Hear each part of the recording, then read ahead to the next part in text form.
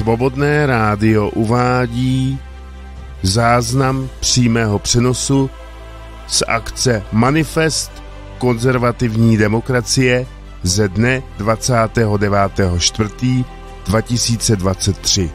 Hezký poslech.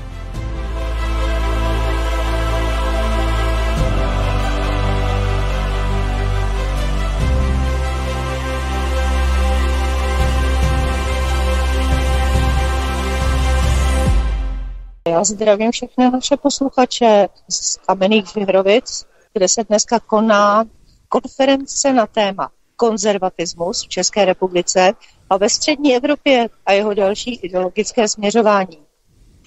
Za chviličku konference začne. Zatím se ještě hosté připravují, takže já počítám, že ještě tak pět minut bude trvat, než ta konference začne.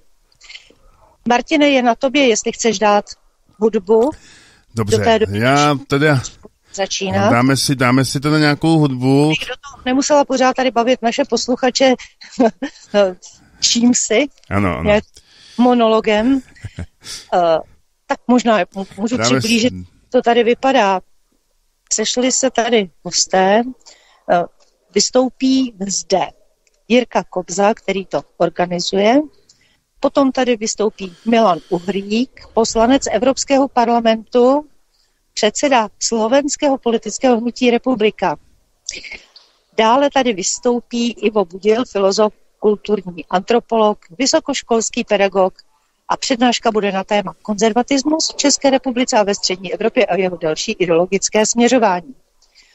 Pak by měl ve 14.20 vystoupit Michal Semín, který také u nás vystupuje na Svobodném rádiu. Je to vydavatel, publicista, Korela na téma úloha církve v obraně konzervativních hodnot. A pak bude následovat Ilona Švihlíková, která by měla začít ve 14.40. Samozřejmě ty časy jsou orientační, není to tady úplně přesně jak ve škole, že zazvoní budík nebo zvonek a začíná hodina. Takže prosím eh, všechny, aby brali tyto informace opravdu jenom tak orientačně. Paní Ilona Švihlíková bude mluvit na téma sociálně konzervativní ekonomie jako záruka hospodářské stability. A potom, potom nás čeká 15.00 Jiří Hejlek, filozof, který bude mluvit na téma potřeba konzervativní filozofie v dnešní rozkymácené době co je a co není konzervatismus. 15.20 by po něm měla vystoupit Monika Pilony, eh, která je součástí Svobodné rádia. Je tady uvedena jako publicistka na téma konzervativismus v Itálii, konzervativní ideje a hodnoty programu a praxi Salviniho ligy. Poté by měla být moderovaná diskuze a tak dále a tak dále. Končení konference by mělo být v 18.00, ale to je všechno jenom uh, orientační, jak říkám. Takže vážení a milí posluchači, já vám předám pana uh, Vladimíra Kapala, který chce co si říci. Já vás zdravím, vážení přátelé, a já tady mám pana profesora Ivo Budila. Pane profesor, pardon, Hejka, Hejka. Pane profesore Hejleka. Hejlek, ano, Hejlka, ano.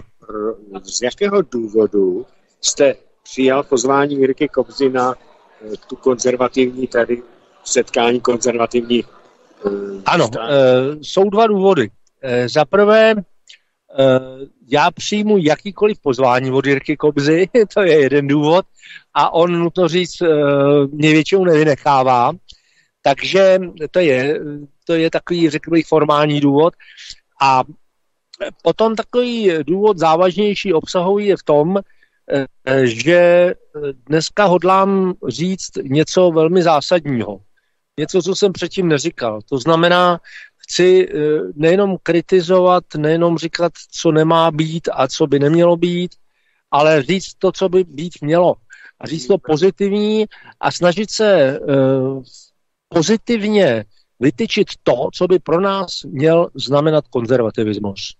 Pane profesore, děkuji nakrátce a jenom našim posluchačům s panem profesorem jsme se dohodli, že se dohodneme a uděláme pořad, dvouhodinový pořad ve svobodném rádiu. Souhlasíte?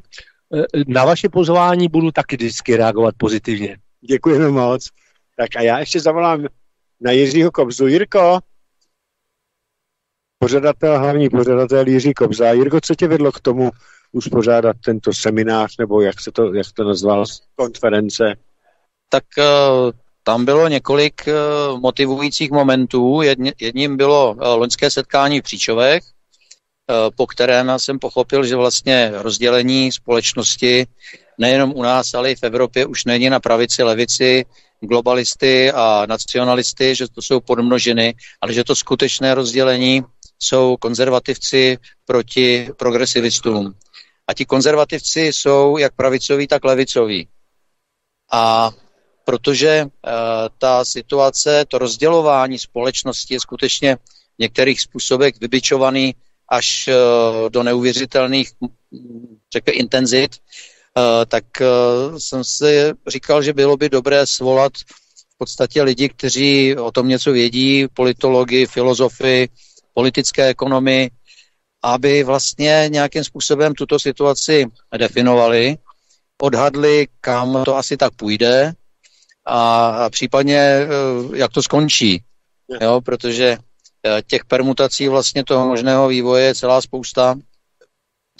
A já jsem strašně rád, že se podařilo skutečně jako tady sehnat eh, dohromady intelektuální elitu alternativní scény, nebo spíš řekl bych realisticky uvažujících konzervativců, abychom se bavili o tom, uh, jak pokračovat dál, protože podle všech mých analýz teď v tento moment, uh, abychom se mohli posunout dál, tak se napřed musíme vrátit zpátky k těm základním konzervativním hodnotám, na kterých jsme vyrostli a od nich jít dál, protože je vidět, že progresivismus je Eh, slepá ulička, eh, ne cesta do pekel. A je jasné, že prostě tudy cesta nevede a může se eh, ten mainstream a veškeré prostředky, které jako věnují na propagandu, že by se za to nestyděl Folkyše Beobachter za druhé světové války, tak prostě jsou marné, protože nezastírají tu realitu té neschopnosti, neschopnosti nahradit logiku a fakta idealismem a aktivismem. A ten fanatismus různých eh, LGBT sekt a, a Green Dealových sekt a podobně v podstatě nic nepřináší, naopak jako stačí rozvrátit ekonomiku i společnost. Takže je nutné prostě, aby zazněl uvážlivý, rozumný hlas, který bude schopen dát nějaký směr, protože máme společný cíl a tím je záchrana tohoto státu pro naše děti. Máme Eh, i společného nepřítele, to jsou ti, kteří nám v tom brání. No a proto já jsem si tady dovolil jako ty lidi pozvat, abych se jich zeptal, jaký je jejich názor, jaký je názor na pozici uh, ekonomů, na pozice církví, na pozice filozofů, aby nám prostě řekli, jestli vůbec je nějaká naděje. Ano, dobrý, děkujeme. To je jenom krátký vstup uh, pořadatele celé akci poslance SPD Jiřího Kobří. Jirko, děkuji. Já také děkuji těsně před začátkem, takže pozor. Já bych ještě poprosila na zpětnou vazbu. Martine, slyšíme se? E, slyšíme se dobře, potřeba tak jako důraznější mluvit na mikrofon, ale jinak Vladimír a pan Kobza a e, ten host jako byli, e, budoucí byli slyšet dobře. Jo. Výborně, protože začátek zatím se posouvá, jak lidi sledujeme, tak Mar- Martina, ještě Vladimír se pokusí sehnat nějakého vystupujícího. Ano. ano vlastně mluví, tak jenom, aby udělal takovou stupní řeč těsně před začátkem. Takže prosím. Takže máme tady dalšího hosta před začátkem této konference. To je vám již známý Michal Semín. Pane Semíne, proč vy jste přijal pozvání Jirky Kobzy Eh, když se spíš eh, církevně, duchovně založeným člověkem. No, to se určitě nijak eh, nevylučuje, tak jednak všechny zdravím.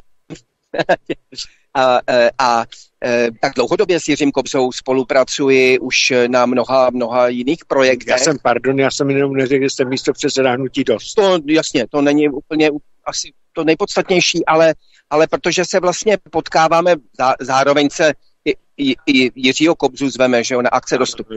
Takže takhle se už řadu let vlastně spolupracujeme a e, oni si přáli vlastně to téma e, duchovní tady otevřít, prostě ukázat, že prostě ta konzervativní scéna e, potřebuje nějaký hlubší jako myšlenkový zázemí, e, duchovní zázemí, protože bez toho vlastně celý ten hodnotový řád postupně a vidíme to, jak to eroduje, že jo, třeba v západních společnostech, že když se to vlastně odpoutá od těch svých původních třeba religiozních základů, tak to zůstane v jakýmsi vzduchoprázdnu.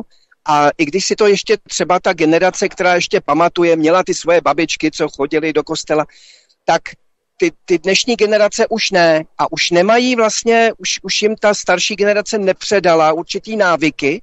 A oni teď vlastně pod vlivem toho liberalismu a těch progresivních směrů vlastně jsou najednou e, ztracený, vykořeněný, ztracený, jo, čili a tady vlastně je asi důležitý i právě pro uchování těch hodnot, jako je prostě rodina, že jo, láska k vlasti, Ehm, hlavně... k českému národu. K tomu všemu prostě patří ta tradice a ta tradice prostě bez toho náboženství jako není. No. A víte, co je pro mě nejhorší, eh, co mě bych to ještě doplnila?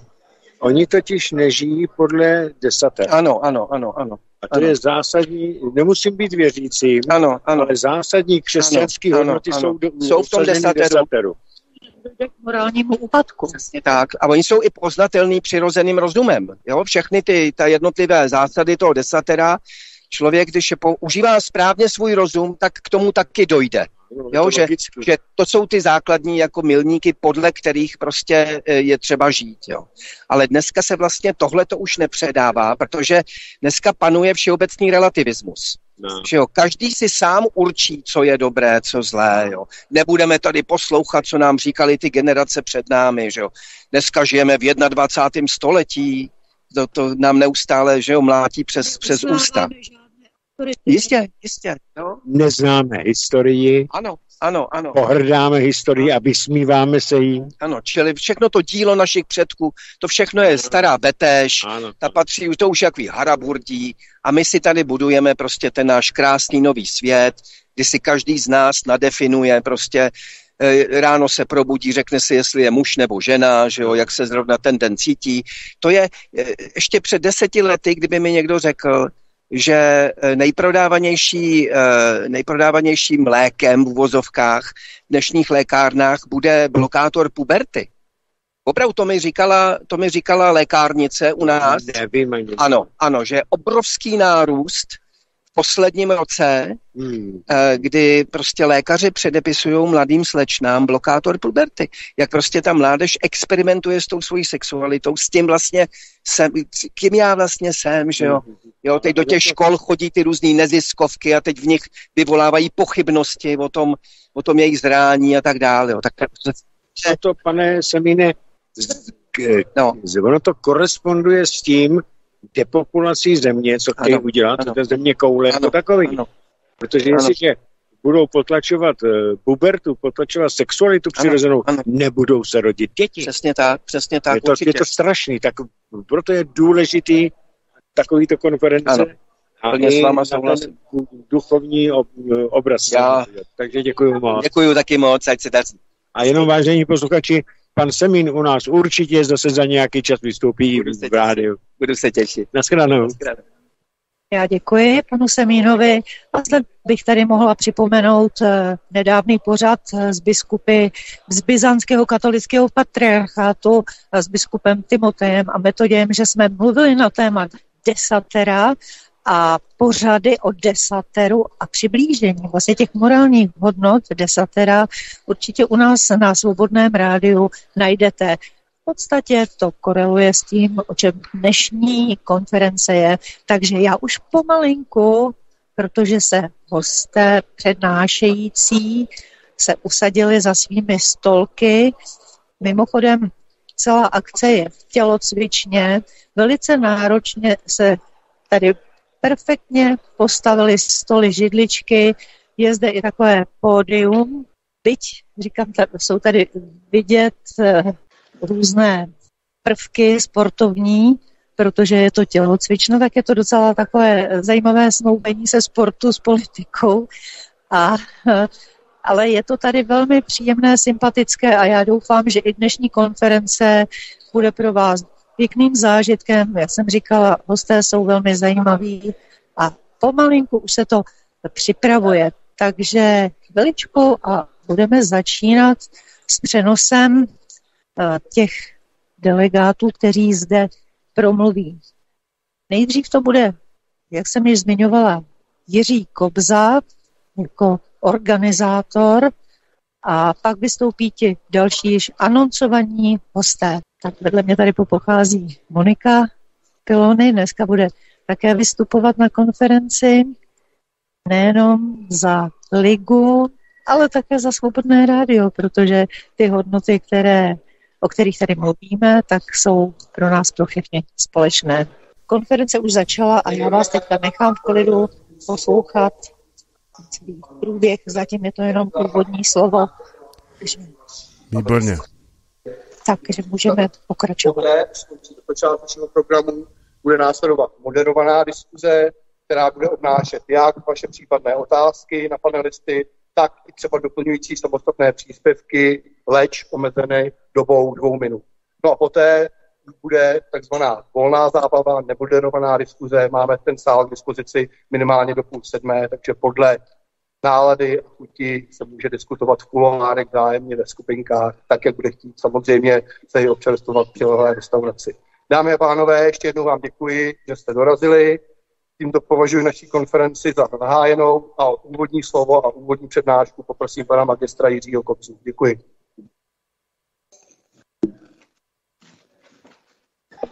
Vážení přátelé, eh, dobrý den. Já děkuji všem, kteří měli čas, chuť a v dnešní době i odvahu sem přijít. A pro mě je veliká čest, že před takovouto audiencí můžu vystoupit, protože přiznejme si, eh, před takovouto elitou a uh, při takovémto tématu, jako se dneska už to asi poštěstí málo komu. Velice si to ocením. Je to sice uh, soukromá uzavřená akce, abychom zamezili pokud možno Eh, pokusům o narušení jejího začátku a průběhu, ale současně už běží přímý stream na sociální sítě a to, co zde zazní, eh, nezůstane pouze v těchto zdech, ale dostane se na veřejnost. Proto si tuto otevřenost volím i já, jestli volíte. Eh, já doufám a předpokládám, že dnesní konference vstoupí do dějin přinejmenším jako pokus o hledání přežitelné budoucnosti pro náš národ, stát a Evropu jako takovou. A tím samozřejmě nemyslím Evropskou unii, ale Evropu e, národních států jako kontinent. Před pěti lety jsme pořádali ve sněmovně odborný ekonomický seminář o ekonomických teoriích pro 21. století, století globalizace a nekrytých měn, který se však bohužel žádného převratného závěru o tom, kam půjde vývoj a jak to skončí, bohužel nedobral. A já jsem potom pochopil, že se nejedná pouze o ekonomiku, jako spíše o politickou ekonomii, která má hledat východiska, ale také se jedná o všechny sféry společnosti. Společnosti, která je nemocná rozkladnou infekcí maoistického progresivismu. Společnosti, která je duchovně, hodnotově i morálně vyprázdněná, materiálně schudlá, vystrašená o budoucnost dětí a tím je mnohem lépe a s nás ovladatelná. Ekonomicky jsme nyní v situaci, kdy, abych parafrázoval jistý citát, liberálním progresivistům došly peníze těch jiných. A tak v boji o přežití si bezuzdě půjčují, bezúhledně a arrogantně pokračují výčení tradičních hodnot na dluh, na dluh nás všech. To vše v čase a situaci, kdy jsme přímými svědky eh, neválně skrývaného boje o moc ve společnosti mezi demokratickými strukturami, ať už to s jejich zvolením a mandátem občanů bylo jakkoliv. Proti samozvaným aktivistům, politickým neziskovkám, polostátním organizacím, které si snaží usurpovat moc na kterou nemají mandát. A k tomu jim pomáhají zahraniční entity jako Evropská komise a média. Současné rozdělení společnosti, a teď nemluvím jenom o České republice, o celé Evropě, které započalo už zhruba před deseti lety rozdělováním na tématech typu uh, mýtů, ilegální migrace, islamizace, LGBT, roušky, vakcinace, až po vývoj na Ukrajině. Už neprobíhá na ose pravice versus levice, ale čistě mezi globalisty a nacionalisty, národovce a socialistické internacionalisty. Ale vykrystalizovalo se na dokonale pěstované hluboké a nesměřitelné rozdělení na konzervativce a progresivisty. Tedy na ty hodné, poslušné pro unijní a pro americké bojovníky, čili sluhy režimu, a ty zavržení hodné, opovržované ruské šváby a konzervativní demokraty. Ze zmíněného semináře i z diskuzí, které jsem vedl na loňském setkání dizidentů Příčovek a tímto zdravím paní doktorku, která se bohužel nedostavila, eh, nutně vyplynul nový pohled na současné dění a rozdělování společnosti. Že původní mantry rozdělení na pravici a levici, stejně jako rozdělení na globalisty, internacionalisty a naopak vlastence a národovce, že jsou vlastně podmnoženy současného skutečného rozdělení západní společnosti. Tím skutečným je dělení na ultralevicové progresivisty, ke kterým se přidali i původně proklamované pravicové strany, jako v Čechách například ODS, TOP 09, KDU, ČSL a STAN, který se dokonce po spojení s Piráty prohlásil za novou českou levici. A konzervativce bez ohledu na jejich pravicovost či levicovost. Zažíváme masivní tlak, zejména ze strany progresivisty ovládaných mass médií, v čele s těmi, která se označují za veřejnoprávní, a aktivistů na náhradu tradičních konzervativních hodnot, na kterých vznikla a stála naše společnost po dlouhá století, absolutním až absurdním orvelovským socialismem. Termíny jako rodina, národ, vlast, pocit sounáležitosti s národem a spolu zodpovědnost za jeho budoucnost, poctivost, tvořivá práce jsou masivně dehonestovány a nahrazovány nejrůznějšími líbivými, ale bezobsažnými pofidérními termíny politického marketingu a prázdnými floskulemi, jak je slyšíme od nejvyšších představitelů státu, nejenom u nás, ale třeba i na Slovensku. Jsou prezentovanými jako úžasné životní cíle, sebestřednost, sobectví, bezohlednost, individualismus, konzumentarismus, LGBT+, ale především nad jakási nadřazenost nad zoláty, což jsme my teda jako údajně. To vše je doplněné o aktivistické, jakkoliv nevědecké, ale o to fanatičtější náboženství zelených a LGBT sekt. To ale nefunguje na naší českou skeptickou náturu a tak společnost dostatečně rychle, navzdory širokospektrální indoktrinace společnosti od žáků a učitelů základních škol až po každodenní masáž vědomí e, občanů, mass médií, to prostě pořád jako neplní svůj účel. Zejména se jedná o cestný plán Evropské unie Green Deal, který ve svém ničivém dopadu na evropský průmysl, dopravu, energetiku a především společnost si nezadal s jadernou válkou. Současně probíhá cílené zbídačení občanů všemi nástroji, od inflace až po vyvolávání drahoty, aby lid, zaměstnaný starostmi o každodenní přežití, neměl sílu se ozvat. Paralelně s tím urychleně roste i zadlužení státu, blížící se míře splatitelnosti snad podle plánu, aby nebylo možné se vyvázat z područí Evropské unie. Zažíváme systematické zastrašování reptajících nespokojenců s tímto vývojem a především špatnými vyhlídkami na budoucnost. Začínají politické procesy, padají tresty za vyslovený názor. Vidíme a zkoušíme stále rostoucí tlak nejenom jednostrané až utupující propagandy, ale zejména cenzury všeho, co se nehodí a především pak nastupující a daleko nebezpečnější autocenzury. Jako u všech totalitních režimů, tak i zde na povrch trčí potřeba vnějšího nepřítele. Nejlépe formou války. Jednak díky tomu, aby se otevřely účty a bylo si možné o to více půjčovat. Ale vnější nepřítel přináší také možnost dehonestace až likvidace vnitřní opozice.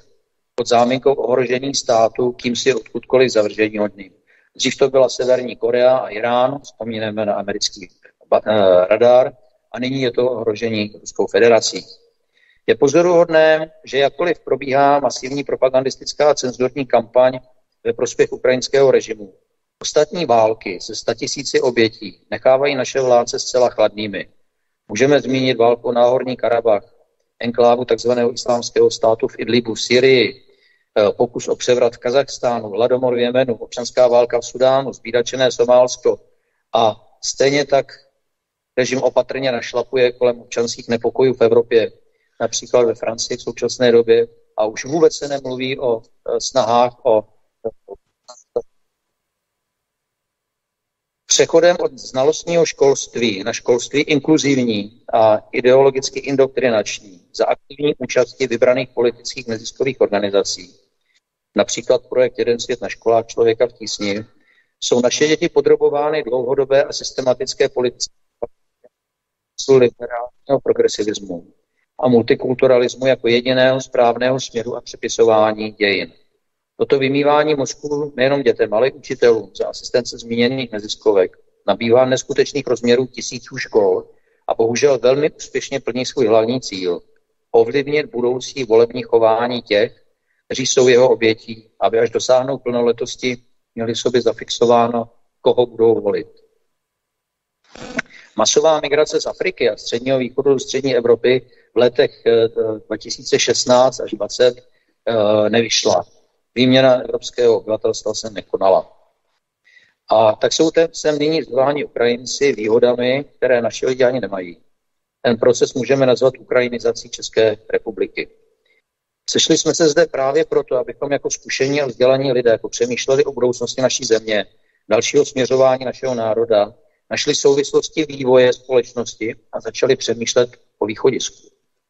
Podle mne, abychom mohli jít dopředu, musíme se nejdřív vrátit k základním konzervativním hodnotám, na kterých naši předkové vybudovali náš stát, na kterých jsme vyrostli.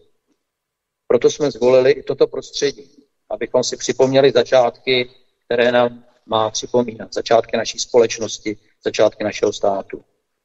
Máme nepopíratelnou zodpovědnost za budoucnost našich dětí, vnuků a do značné míry i národa, protože jako ti, kteří mít skutečný běh událostí, ať již svými vlastními zážitky, anebo z vyprávění Já díky tomu mám dobrý přehled o tom, co se doopravdy dělo v Praze během německé okupace a během 9.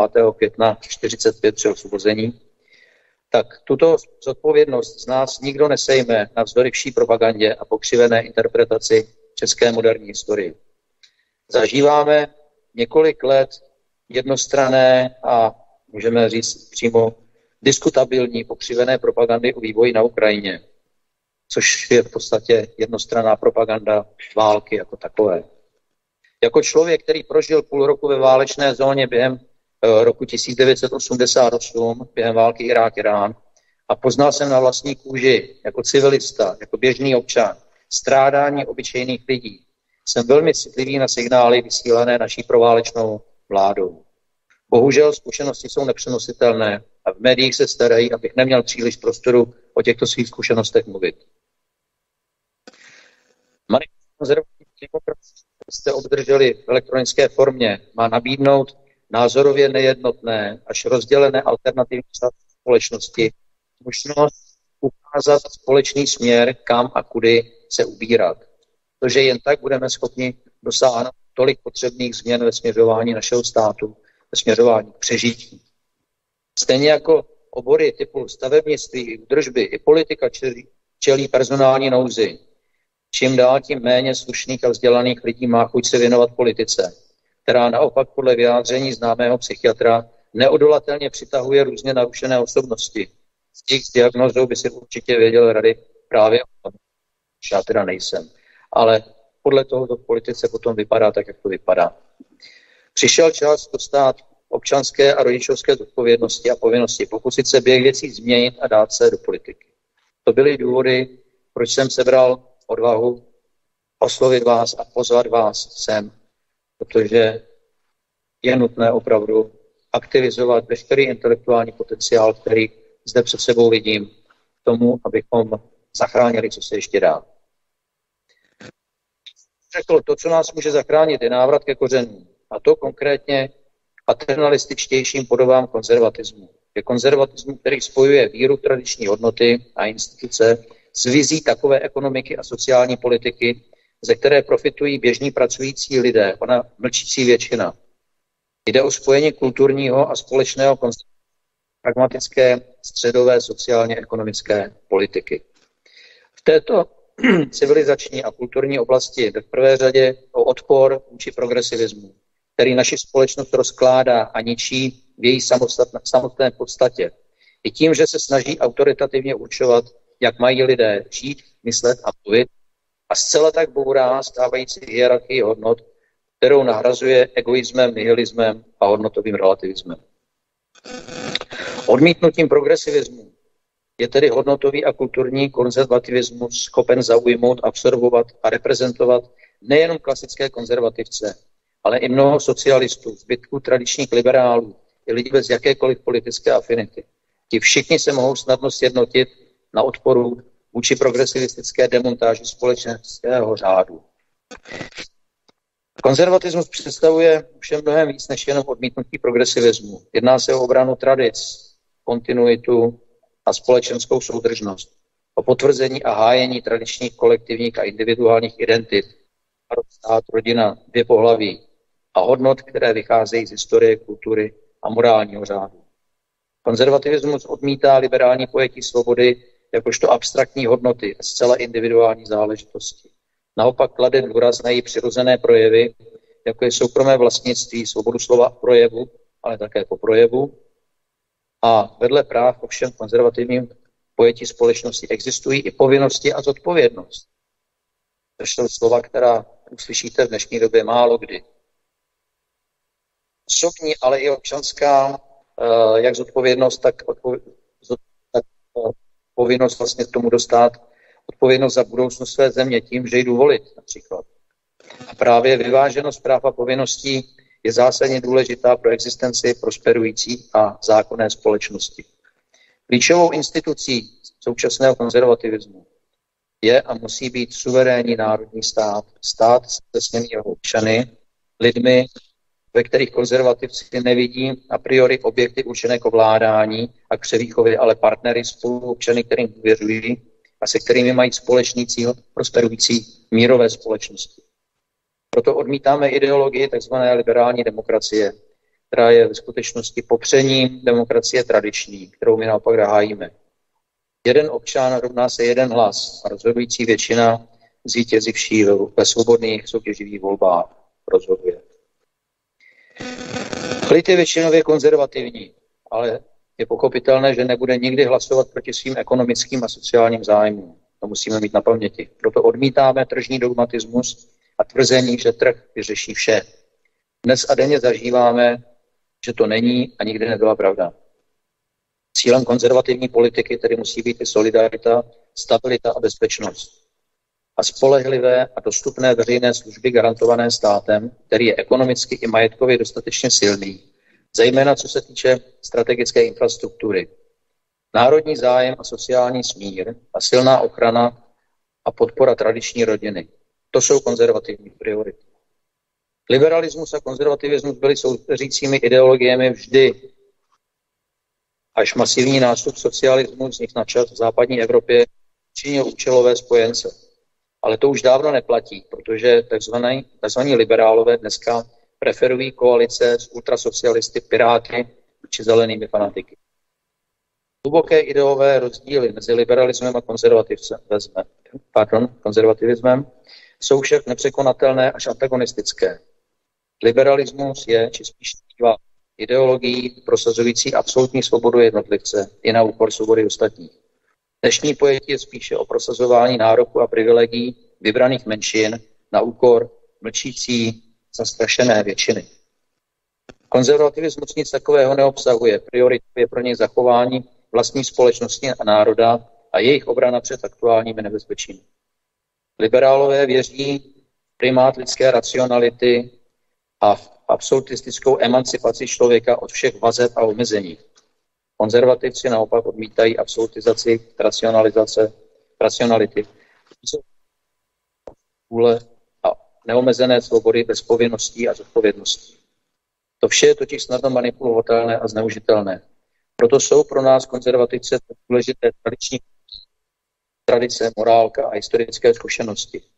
Odmítáme údajný pozitivní charakter liberálně osvobozující jednotlivce od tradic a zděděných závazků, které dle liberálů člověka omezují. Dnes přetrhání vazeb s historií a s národním společenstvím, případně i s rodinou, je proces ve skrze negativní. Společnost pro nás není a nesmí být jednotlivců. Svoboda může existovat a nebýt zneužita pouze v rámci morálního a institucionálního řádu suverénního právního národního státu. Žít ve společnosti jsou náležitosti prostředky tonky. Společnost v hromadě právě tradiční a přirozené vazby a pokud která reální. Totež ani a pojetí demokracie spojují s politickým národem, s národním státu. Demokracie je podporná jen tehdy, jestliže se týká společenství se sdílenou pravidem, než jsou ideologické či třídní charakteristiky. Liberálové naproti tomu degradovali společnost na skupinu nezávislých, ale také bezbraných individuí. Vybr- bez zázemí rodiny na pospa státu, na kterém jsou totálně závislé, jak píše Orwell, a jehož vize se naplňují čím dál tím víc. Přestali demokracii spojovat s národem a redukovali ji pouze na formální procesy, navíc s mnoha omezeními v podobě deformačních mechanismů ve volebních systémech a ve volební legislativě. Tradiční demokracii jako formu vlády většiny dnes navíc liberálové i progresivisté vnímají jako přímé ohrožení vlastní politické dominance a chtějí proto politickou soutěž i volební procesy co nejvíce zregulovat ve svůj vlastní prospěch, například pomocí korespondenčního či elektronického hlasování a pod tlakem a šikanujících nevládních organizací.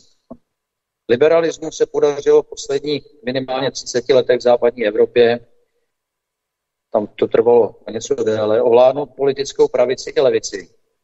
Jejich program je ekonomicky neoliberální a sociální, společenský a kulturně progresivistický. Preferují sexuální menšiny, odmítají tradiční rodiny, podporují ilegální migraci, sebevražený multikulturalismus a cenzuru plus další omezování základních lidských práv a svobod. Liberálové se stali slouhy nadnárodního globálního kapitalismu, zatímco konzervativní fundament není stotožněn s žádnou konkrétní současnou ekonomickou teorií, ani sám nepředstavuje. Stojí nad ekonomickou a pragmaticky si vybírá především vždy nadřazuje zájmy člověka a společnosti nad ekonomiku. V dnešní Evropě Českou republiku je tedy probíhá tvrdý boj mezi dvěma základními koncepty. Levicově liberálním a internacionalistickým progresivismem a konzervativismem, který je národní a sociální. Která z těchto vizí zvítězí a rozhodne o budoucnosti evropských společností, je o tom, jestli vůbec přežijí. Myslím, že je na čase oprášit pozapomenutou odnož společenských věd a to politickou ekonomii. S její pomocí bychom měli hledat konkrétní postupy, jak dál, jak zachránit aspoň mírové a soběstačné zemi.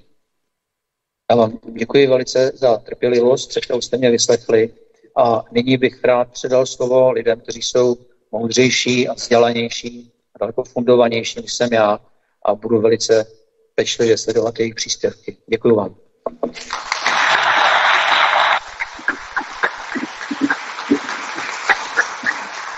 Já děkuji panu Jiřímu Kobzovi za jeho úvodní vystoupení. Teď bych pozval k řečickému půltíku pana doktora Milana Uhríka, europoslance a předsedu Hnutí republika, s jeho působem téma konzervatismus ze slovenského pohledu, ze slovenské perspektivy. Prosím.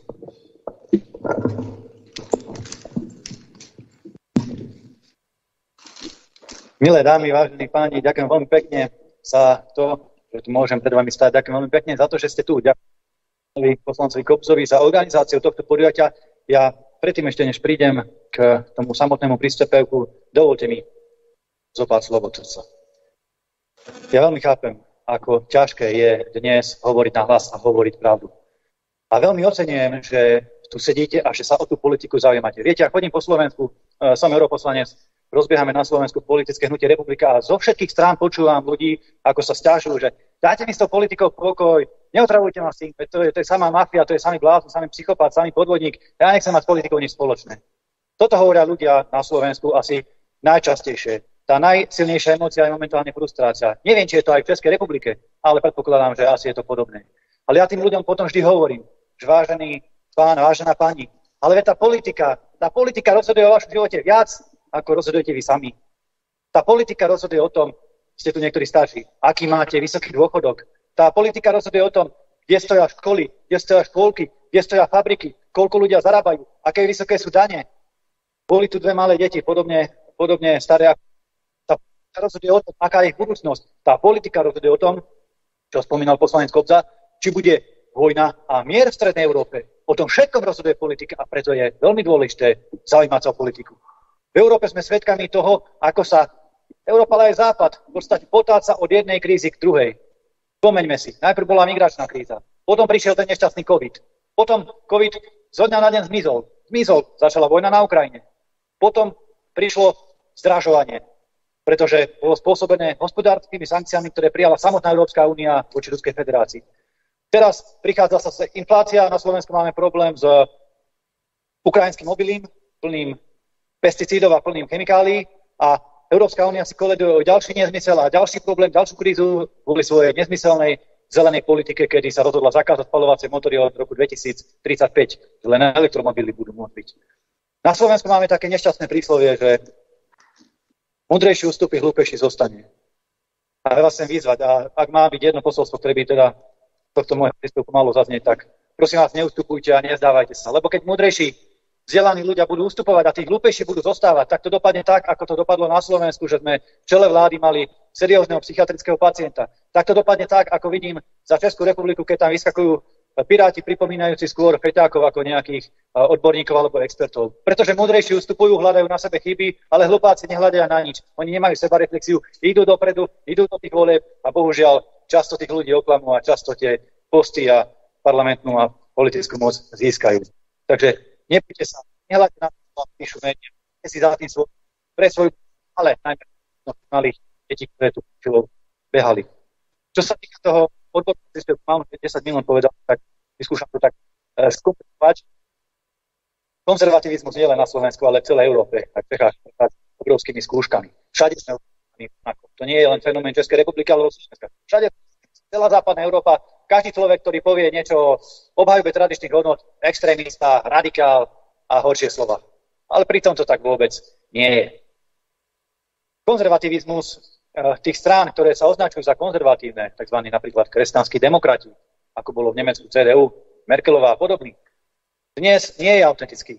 Oni majú len túto nálepku, majú toto slovo. Je to akýsi politický marketing alebo alebo značka, ale ten obsah už dávno nie je konzervatívny, práve naopak totálne splynuli s tým mainstreamovým, progresívnym, liberálnym prúdom. Napokon, keď sú aj hlasovania aj v Európarlamente, ale aj v Európskej rade, tak ani nevidíte rozdiel, či niekto ale nejaký období demokrat.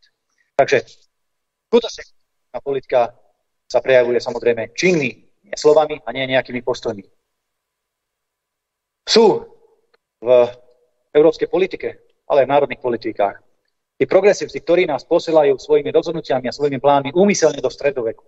Jeden môj chorvátsky europoslanec, kolega, pán Kolakušic, taký tiež, taký e, hovorí to, čo má na srdci, povedal, že nás tí progresívci úmyselne posielajú do stredoveku, do progresívneho stredoveku, do sveta, kde je tma, kde je cenzúra, kde sú samé zákazy, kde neexistuje elektrická energia, všetci budeme jazdiť asi na, neviem, na koňoch, alebo čo, kde neexistujú ľudské práva, kde si človek nemôže napokon rozhodnúť o svojom živote, o svojej budúcnosti, kde jednoducho neexistuje súkromné vlastníctvo. To je ich predstava a toto je predstava, ktoré musíme zabrániť. My všetci, čo sme tu vzdelaní ľudia, tej klasické definícii liberalizmu, takej tej definícii z toho 19. storočia, kedy tí liberáli stáli za slobodou. Dnes si týchto ľudí, prosím vás, nemilme s progresívcami, pretože progresívci chcú spoločnosť prevychovať. Podľa novodobého neomarxistického modelu liberáli hlásali a stili si slobodu. Progresívci si nectia nič, každý iný názor neznášajú, každý iný názor chcú cenzurovať. Kolega to veľmi dobre hovoril o tej autocenzúre, čo je ešte vyšší level a smutnejší level uh, samotnej nejakej štátnej alebo politickej cenzúry, keď človek už, už sám sebe zatvorí ústa a nepovie to, čo má na srdci.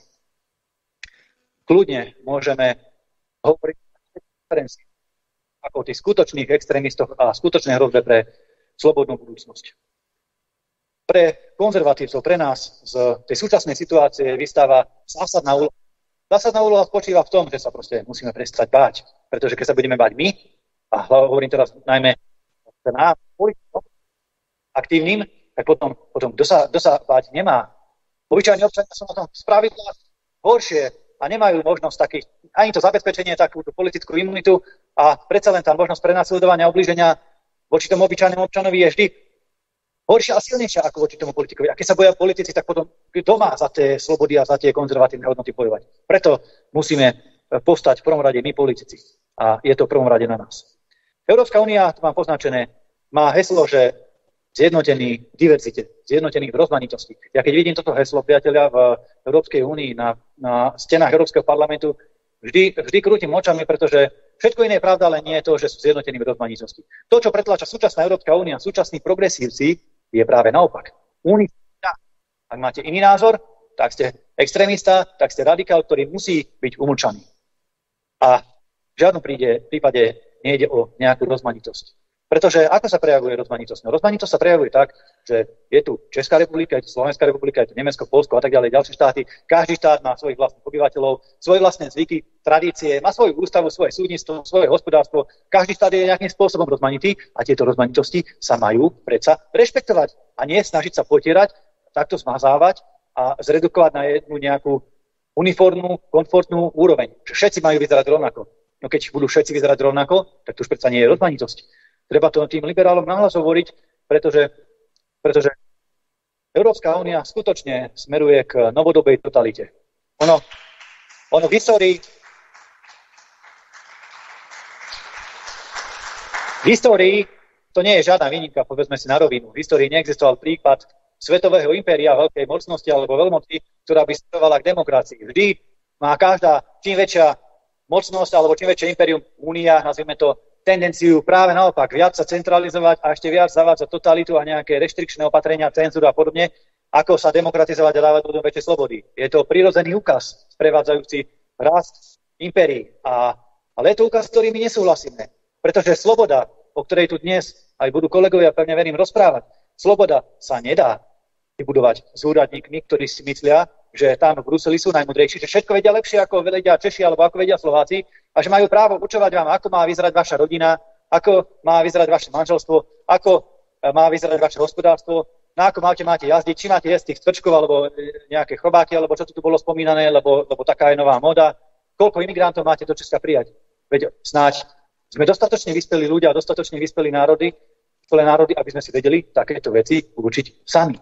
Reálna sloboda reálna sloboda sa dá vybudovať len v suverénnom štáte, to znamená v štáte, ktorý je schopný a ochotný brániť svoje vlastné záujmy. A keď Slovenská, Česká a iné vlády nie sú ochotné brániť svoje národné záujmy na úrovni Európskej únie, tak potom prirodzene v tých krajinách nemôže byť ani tá skutočná sloboda, pretože slobodu sprevádza obhajoba vlastných záujmov. Čo sa týka hnutia republika, tak dovolte zo pár slov, predsa len mladé hnutie. Práve tieto hodnoty konzervatívne, tradične snažíme nielen v Európskom parlamente, ale aj na národnej úrovni, Národnej rade a samozrejme aj v slovenských regiónoch prezentovať. Snažíme sa to robiť, ale spôsobom, ktorý odpovedá 20. storočiu. Ja slovo moderným spôsobom, lebo predsa len to slovo moderný je dnes eh, zneužívané najmä tou progresívnou propagandou. Dneska je moderné, keď je uh, každý druhý pomaly s prepačením teplý, ale tak sa to nejakým spôsobom prezentuje. A my sa snažíme to robiť moderným pútavým spôsobom, najmä pre mladých ľudí, prihovárať sa vždy rečou prispôsobenou intelektuálnej úrovni publika. Inak sa samozrejme hovorí na námestiach, inak sa hovorí na nejakých konferenciách, inak sa rozpráva v parlamentoch, ale vždy treba hovoriť úprimne a od srdca to, čo si myslíme a to, za čím stojíme. Je nutné pracovať na každej úrovni politiky. Mám tu poznačené samozrejme európska úroveň. Mimoriadne dôležitá. Mnoho, zrejme to máte v Česku podobné, mnoho ľudí sa nás pýta, že a ste v Európskej únii, keď aj tak kritizujete. No, preto sme tam, lebo sa tam o nás rozhoduje. A je našou povinnosťou predsa byť všade tam, kde sa o nás rozhoduje. Keď sa o nás bude rozhodovať na Marse, tak pôjdeme na Mars a budeme tam brániť naše záujmy, lebo je to naša politická povinnosť predsa. A keď sa rozhoduje o nás v Národnej rade alebo v Českej snemovni, tak musíte tam mať vlastných zástupcov, ktorí budú o tom nejakým spôsobom rozhodovať. Chceme byť e, serióznou a slušnou silou. Chceme ukázať, že súčasná vláda, nielen na Slovensku, v Česku, ale v celej Európe, má proste alternatívu. Odborníkov, alternatívu vlastencov, ktorá dokáže spravovať veci verejné lepšie, ako to dokážu spravovať progresívci. Svojím spôsobom. Svojím spôsobom je ironické alebo cynické, že dnes sú to konzervatívci, kto obhajuje slobodu ľudí a nie, nie tí liberáli. Boli sme to my, kto počas covidu bojoval za slobodu očkovania proti covidu. Nech si ľudia vyberú, či sa chcú očkovať. Sme to my, kto hovorí o slobode slova. Progresívci sú cenzúru, predtým chceli povinné očkovanie. Ľudia majú mať možnosť rozhodovať vlastnom ako majú vedieť, alebo čo majú jesť. Naopak, progresívci liberáli dnes hovoria, že oni vám to určia lepšie, lebo oni to vedia lepšie, aby si nezanechávali uhlíkovú stopu alebo niečo podobné. Paradoxne, nechcem to tak parafrázovať, ale zdá sa, že sme dnes liberálnejší ako tí liberáli, ktorí by tú slobodu obhajovať mali. Ďakujem vám veľmi pekne za tú odvahu, ktorú ste preukázali už len tým, že ste sem dnes prišli. Ďakujem vám veľmi pekne za trpezlivosť, ktorú s politikou a s politikmi máte. Ja chápem, že máme svojich každý politik samozrejme aj človek, ale nemyslím si, že je našim cieľom hľadať na sebe chyby.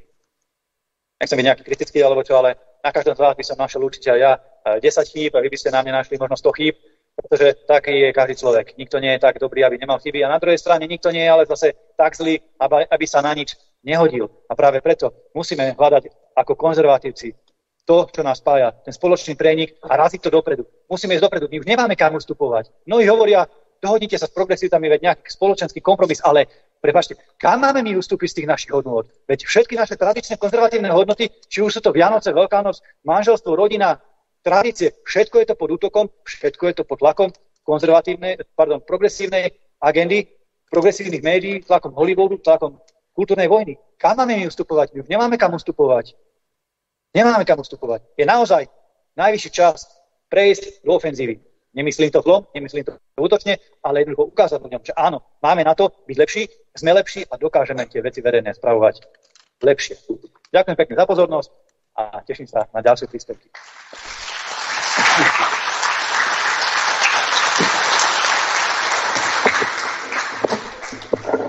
Já velmi děkuji panu předsedovi Uhlíkovi za jeho bojovné a zajímavé vystoupení a pozvu k řečnickému pultíku pana profesora Ivo Budila s jeho pojednáním, které bude zaměřeno na ideologické směřování konzervatismu nebo českého politického konzervatismu zase z jeho perspektivy. Tak prosím, pane profesore.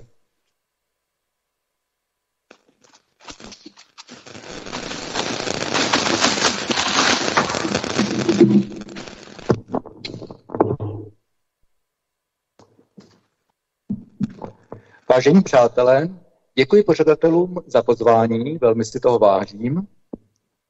V současné době jo, jo, v současné době lze pozorovat v západním světě nápadné vzepětí politických iniciativ a, a, a intelektuální snah rehabilitovat a revitalizovat konzervatismus jako poslední baštu obrany naší civilizace, a to prakticky v okamžiku, kdy se zdá, že boj o její rozum a srdce je ztracen. Já nevěřím, že určité společnosti jsou odsouzeny k zániku z důvodu neodvratitelného stáří a ztráty životních sil. Dějiny neprobíhají podle přírodního vzoru ve vegetačních cyklech.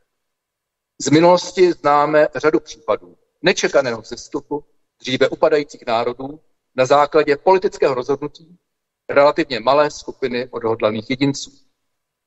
Potřebujeme však pozitivní a sugestivní vizi budoucnosti, která dokáže strhnout a získat na naši stranu široké vrstvy, znechucené a zastrašené zdánlivou bezvýchodností současné doby.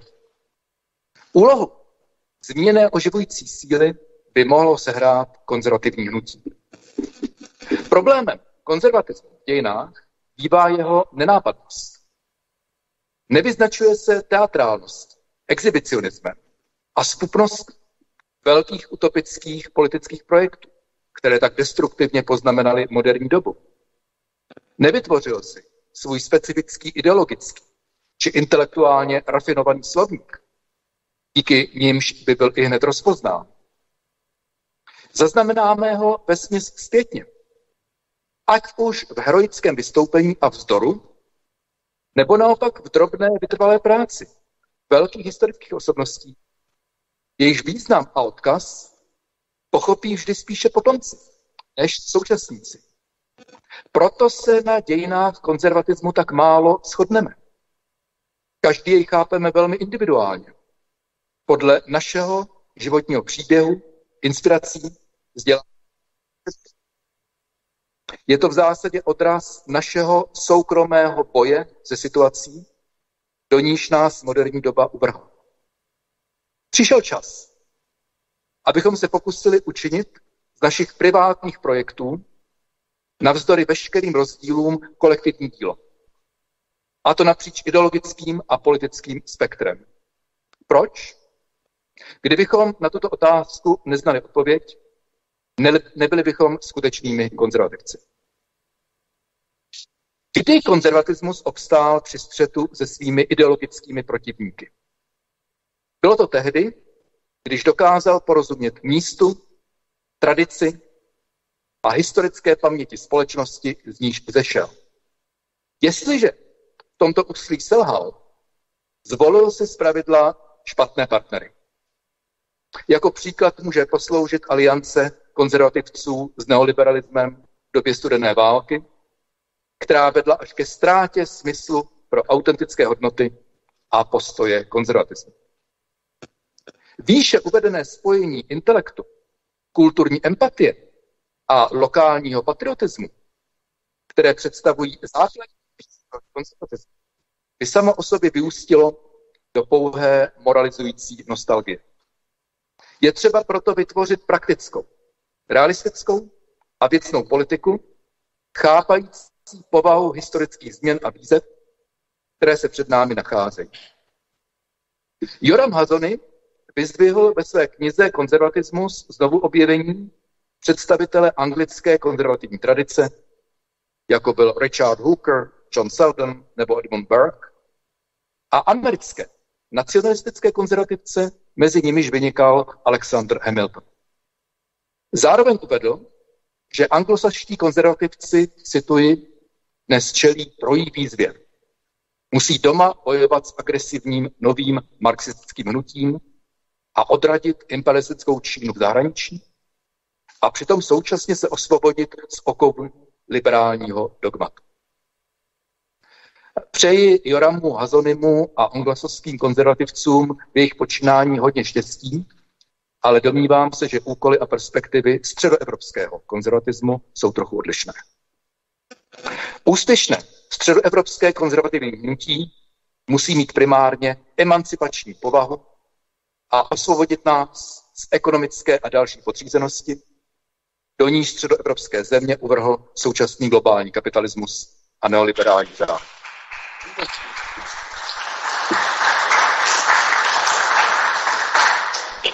Střední Evropa nedokázala od 18. století vytvořit variantu modernity, která by byla udržitelnou alternativou vůči Evropě západní a východní. Její intelektuální, morální a materiální potenciál byl často zbytečně promrhán a střední Evropa se stala pouhou využívanou periferií severozápadní Evropy a Severní Ameriky. Místní národně konzervativní hnutí by nemělo dovolit, aby se tato strukturální podřízenost trvale obtiskla do mysli a mentality místních obyvatel a osromila jejich sebevědomí a vůli. To by byla skutečná cesta do dlouhodobého otroctví. Jak napsal Lawrence Harrison, nerozvinutost je stav ducha. Z tohoto důvodu je inspirativní osobností především Alexander Hamilton se svým ambivalentním vztahem k Velké Británii. Poté, kdy Spojené státy americké definitivně získali v roce 1783 nezávislost. Alexander obdivoval anglický politický systém jako úctyhodný výsledek státnické obezřetnosti a úcty k tradici. Nicméně si uvědomoval, že jeho země je dále periférií britského impéria. Na rozdíl od liberála Thomase Jeffersona, kterému ekonomická podřízenost vůči Anglii nebyla proti mysli, Alexander Hamilton ocenil obrovskou moc produktivních sil lidského rozumu, které uvolnila průmyslová revoluce. Když mu prezident George Washington svěřil do péče hospodářství zaostalé a zadlužené zemědělské země, Alexander Hamilton zřídil Národní banku, zavedl systém cel chránících místní výrobce a pomocí úvěru podporoval výstavbu infrastruktury a rozvoj průmyslové výroby. Spojené státy americké se postupně zbavily periferního postavení a zahájili cestu k pozici hlavní průmyslové mocnosti světa. Na přelomu 18. a 19. století ovládali britský politický systém do značné míry velcí pozemkoví vlastníci a dědičná oligarchie. Její představitelé se vyznačovali větším pochopením pro svobodu podnikání než pro sociální rovnost a spravedlnost. Plně si uvědomovali přínos volného trhu a nových výrobních způsobů. Nicméně v duchu své kastovní mentality a dědičních privilegií se nehodlali plnohodnotně dělit s širokými lidovými vrstvami na britských ostrovech nebo s domorodým obyvatelstvem zámoří o plody moderního hospodářství. Úloha ospravedlnit v nových historických podmínkách jazykem moderní vědy nerovnoměrnou distribuci bohatství připadla britskému liberálnímu ekonomovi a duchovnímu Tomasu Robertu Maltuzovi. V roce 1798 vydal Thomas Robert Malthus esej o principu populace, ve kterém tvrdil, že zatímco produkce potravin roste aritmetickou řadou, počet obyvatel přibývá řadou geometrickou. Tento dramatický nepoměr lze podle něj vyrovnat pouze prostřednictvím sociální nespravedlnosti a brzdami, jako jsou války, epidemie a reprodukce společenské hierarchie a nerovnosti. Před zmíněnou ponurou zákonitostí není úniku. Když v roce 1796 předložil ministerský předseda William Pitt návrh zákona, podle něhož měla každá rodina se třemi a více dětmi dostávat příspěvek ve výši jednoho šilinku týdně, Thomas Robert Malthus jej důrazně varoval před nepřiměřenou štědrostí, která povede k přemnožení chudých vrstev.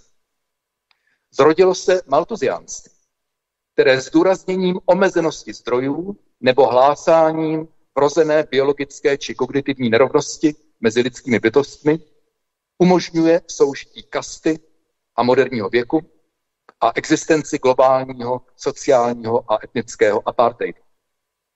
Je to nejúčinnější moderní způsob popřední rovnosti a práv lidí a neomezeného potenciálu lidského rozumu. Maltuziánství se vyvíjelo a měnilo podle historických okolností. Přijeli, přijeli jej za své mnozí myslitelé a veřejní činitelé hlásící se k liberalismu. Například Alexis de Tocqueville, jenž neváhal prohlásit, že francouzskou společnost zabíjí pařížská filantropie. Malthusův současník filozof Jeremy Bentham v obdobném duchu tvrdil, že chudoba není způsobena sociálním řádem, ale je projevem přírodních zákonů. William Taylor Coleridge si v polovině 30. let 19. století postěžoval, že Maltuzovy myšlenky otrávily mysl takřka všech předních mužů Anglie. Z ducha maltuziánství se v průběhu 19. století zrodila rasová ideologie, sociální darwinismus a eugenika, jejíž společným jmenovatelem byla snaha v rámci moderní civilizace obhájit nerovnost lidí a ospravedlnit imperiální nebo rasovou oligarchii. To znamenalo potlačení lidských zdrojů, produktivity, tvořivosti nebo neprivilegovaného talentu v řadě zemí světa. Na přelomu 60. let 20. století, 60. a 70. let 20. století na sklonku 30-letého poválečného hospodářského a kulturního rozmachu západní civilizace, který si ve Francii vysloužil označení 30 let, se rozšířilo neomaltuziánství v podobě environmentalismu, populační kontroly a kritiky racionalismu a vědeckého pokroku. Na rozdíl od rasového maltuziánství, které zdůrazňovalo biologickou nerovnost, se neomaltuziánství snaží především paralizovat tvořivý potenciál lidského rozumu. Program zeleného údělu, ústící do deindustrializace Evropy, je logickým vyústěním neomaltuziánské agendy. Souběh neomaltuziánství a pozdního kulturního liberalismu paralyzuje západní myšlení. Byl opuštěn rozvoj jaderné energetiky, výzkum termojaderné fúze a ambiciozní program letu do vesmíru. Západ ztrácí produktivní sílu a mění se v chudnoucí, ale zároveň v konzumní hedonistickou komunitu, rezignující na racionalismus a na pozitivní vizi materiálního a morálního pokroku. Západní společnost je rozštěpena na jedince, kteří se stotožnili se zájmy globální oligarchie, technokratickou neofeudální kastu a na stále početné kteří instinktivně cítí, že byli připraveni o budoucnost, čerpající z odkazu humanismu a sociální emancipace. Domnívám se, že soudobý progresivismus, genderismus nebo hnutí Vogue, které prostupují západní politické, mediální, akademické sféry, nejsou ani tak derivátem neomarxismu, jak se často ozývá z neokonzervativních kruhů, ale právě produktem neomaltuziánství, které ze své podstaty podrývá síly lidského rozumu. Neomaltuziánství je povinnou ideologií globálních korporací, z ní se rekrutuje nová aristokracie, k níž by měl současný konzervativec cítit přibližně stejné sympatie, jaké měl Maximilian Robespierre k aristokracii ancien režimu. Čelíme tak globální alianci neoliberalismu a neomaltuziánství, která není nějak překvapivá vzhledem k příslušnosti Tomase Robese k anglické liberální škole, sympatím, jimž se Maltuzovo díl v průběhu 19. a 20. století mezi liberálními mysliteli. Konzervativní hnutí tak musí rozšířit svoji tradiční agendu o úkol obnovit produktivní síly modernity, vědy a technologií a investovat do infrastruktury. Postavme proti šířícímu se technokratickému fašismu konzervativní technokratický idealismus. Je třeba rovněž využít velkých geopolitických změn spjatých se zrodem multipolárního světa a vydobít našemu regionu v novém světovém řádu takové důstojné místo, které nám zajistí svobodu a prosperitu. Děkuji vám.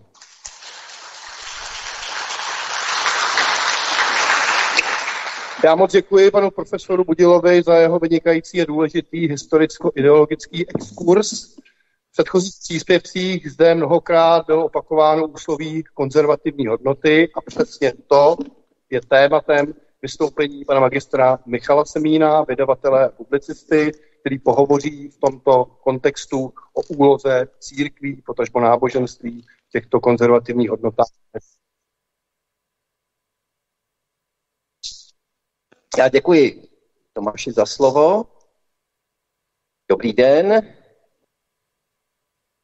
Je mi ctí předstoupit před vás a zamyslet se tématem, který jsem dostal za úkol eh, zpracovat pro to dnešní setkání. To téma zní úloha církve obraně konzervativní hodnot. Ale ještě než půjdu k meritu věci, tak eh, mám asi dvě nebo tři předběžné poznámky k vyjasnění eh, termínu a náležitého kontextu. Eh, ten pojem konzervativní hodnoty, ten má jiné vyznění u nás, kamenných Žehrovicích, nebo jinde v Evropě, ale kdybychom svolali, nebo kdyby naši přátelé třeba v Japonsku svolali na toto téma setkání eh, třeba v Nagasaki, nebo tak by eh, se ta konference nesla v trochu jiném duchu, čili konzervativní hodnoty, my je asi předpokládám, jak znám organizátory, chápeme tedy v tom evropském významu, um, čili hovoříme o těch hodnotách, které mají svůj původ v myšlenkových tradicích vzešlých zde u nás, tedy z antiky a to filozoficky a nábožensky z křesťanství. No a kdybych si to chtěl celé zjednodušit, tak se spokojím s tvrzení, že kdo jiný než církev eh, by měla hrát pozitivní roli při obraně těchto hodnot. Pokud by ty konzervativní hodnoty měly mít nějaké protikřesťanské vyznění, tak těžko by je církev mohla hájit. Ne? Um, název toho příspěvku také vyvolává zdání, by církev tu byla v jakémsi služebném postavení. Že existují nějaké konzervativní hodnoty a církev je tu od toho, aby je podporovala, hájila. Ale to není správně pochopeno. Ten vlastní účel církve je totiž jiný. Um, tím účelem spása lidské duše, lidský duši. Čili ten účel církve je mimo tento svět proto nemůže být nikdy v tomto služebném postavení vůči jakékoliv politické doktríně, ideologii, státu nebo jakýchkoliv jiných časných hodnotách. Ale pochopitelně církev a zájem, jak lidé žijí, jak je společnost hodnotově utvářena, jak hodnotách je ukotvena, protože právě ten cíl, pro který existuje spása duší, odvíjí od toho, jak žijí jakými hodnotami se ve svém životě fakticky řídí. Proto se také eh, v rámci jejího učení v těch posledních, řekněme, 150 letech vytvořil takový samostatný obor, eh, kterému se říká sociální nauka nebo sociální učení eh, církve. A to víceméně představuje určitou ucelenou, je to jakási ucelená představa o tom, jakými hodnotami se má společnost, tak aby odpovídala hodnotám Evangelia řídit. Východiskem tedy pro tu naší základní úvahu o vztazích církev a konzervativní hodnoty musí tedy nutně být křesťanská etika. A to jak v té individuální rovině, v oblasti tedy života jedince, tak i v té oblasti společenské, sociální. To je ta sociální etika. Ehm, nejde nám tady, a církvi nejde o nějakou tu techniku toho společenského zřízení, ale právě o zachycení toho souboru těch základních principů sociálního a hospodářského života odpovídajících křesťanskému pojetí člověka. Čili to základní východisko pro tu naší úvahu je východisko antropologické. Kým je člověk? E, z toho křesťanského pohledu je to poměrně jasné. Člověk je boží tvor, tedy jeho přirozenost je dána a protože je dána někým jiným, on sám si ji netvoří, je mu dána zvenčí e, Bohem, tvůrcem, tak je ta přirozenost také neměna. Ta se v průběhu toho lidského života nemění. Člověk, člověk přirozenou smrt i mimo tu smrt. Ta neměnost eh, přirozenosti to je prokazatelná i filozoficky, ale bez té přímé asistence e, zjevení, ale do toho teď nebudeme zabíhat. Nicméně z toho cíle lidského života můžeme odvodit správný poměr mezi jedincem a společností. Člověk je sice bytostně společenský tvor, rodí se do společnosti, nikoli jako nějaký, nějaká monáda, která existuje nezávisle na druhých, ale vzhledem k tomu svému poslednímu cíli, který je mimo tento svět, nikdy není společností, tím kolektivem ve všech aspektech svého života um, podřízen, pohlcen. Člověk se má společenské autoritě podřizovat, ale pokud stát chce po něm něco, co odporuje buď lidské přirozenosti nebo těm základním principům mravního života, no tak tím pochopitelně není vázán. V tomto smyslu tedy církev je odpůrkyní jak toho vypjatého liberálního individualismu, tak kolektivismu. No a my žijeme v době, kdy se tyto dvě doktríny, ta liberální, neoliberální, eh, s tou kolektivistickou na první pohled doktríny protikladné, uskutečňují v praxi souběžně. Dobře to můžeme ilustrovat třeba na expanzi té takzvané genderové ideologie, která vychází prostě z představy, z falešné představy svobodné volby pohlaví. Pohlaví je jakýsi tedy konstrukt, um, kulturně podmíněný, i individuálně podmíněný, a je to věcí osobní volby. Proto taky ten počet pohlaví není předem ani určen. Jo. Takže se teď dohadují o tom, jak, jaký, jaký ten skutečný počet je, ale to je, to je zcela zbytečná debata, protože nikdy nikdo v logice tohoto uvažování nemůže žádný konečný počet stanovit. A tou právě touhletou zabsolutizování té individuální svobody, volit si svou identitu, a to je ten paradox té dnešní doby, že z druhé strany přichází jakoby ta, eh, ta státní moc, která vlastně eh, vynucuje pro tuto své voli to kolektivní uznání a respekt. Čili na jednu stranu prostě ten vyhraněný eh, individualismus a z druhé strany vlastně ten mocenský nárok státu toto uznat jako legitimní právo. A to pak je spojeno s tím, že pak takový stát má skontrestat ty, kteří zastávají ty tradiční konzervativní postoje. A v této oblasti ten postoj církve je pochopitelně jasný. A je jasný i pro každého, eh, kdo užívá zdravý rozum a pro každého konzervativce. Člověk je stvořen buď jako muž nebo jako žena. A jednou provždy existují pouze dvě vzájemně komplementární pohlaví, přičemž muž je přirozeně zaměřen eh, k ženě a, a, a, a naopak. Je? A vše mimo to má povahu poruchy. No, buď biologické, psychologické, emoční nebo mravní, ale poruchy. Církev je tedy přirozenou obhájkyní eh, toho, čemu se říká tradiční, klasická, přirozená rodina. Máma, táta, děti. Ale zároveň hájí i jiné postoje morální, které v tom aspoň tom moderním konzervativním prostředí už tak jako trochu eh, kolem nich eh, našlapujeme tak cudně, alespoň my tady v Čechách, na Slovensku je ta situace trochu jiná. A to je, že církev hájí lidský život od početí po přirozenou smrt. Um, Tady v Čechách právě zrovna nevidíme mnoho konzervativních politiků, že by se zastávalo práva člověka na to se narodit.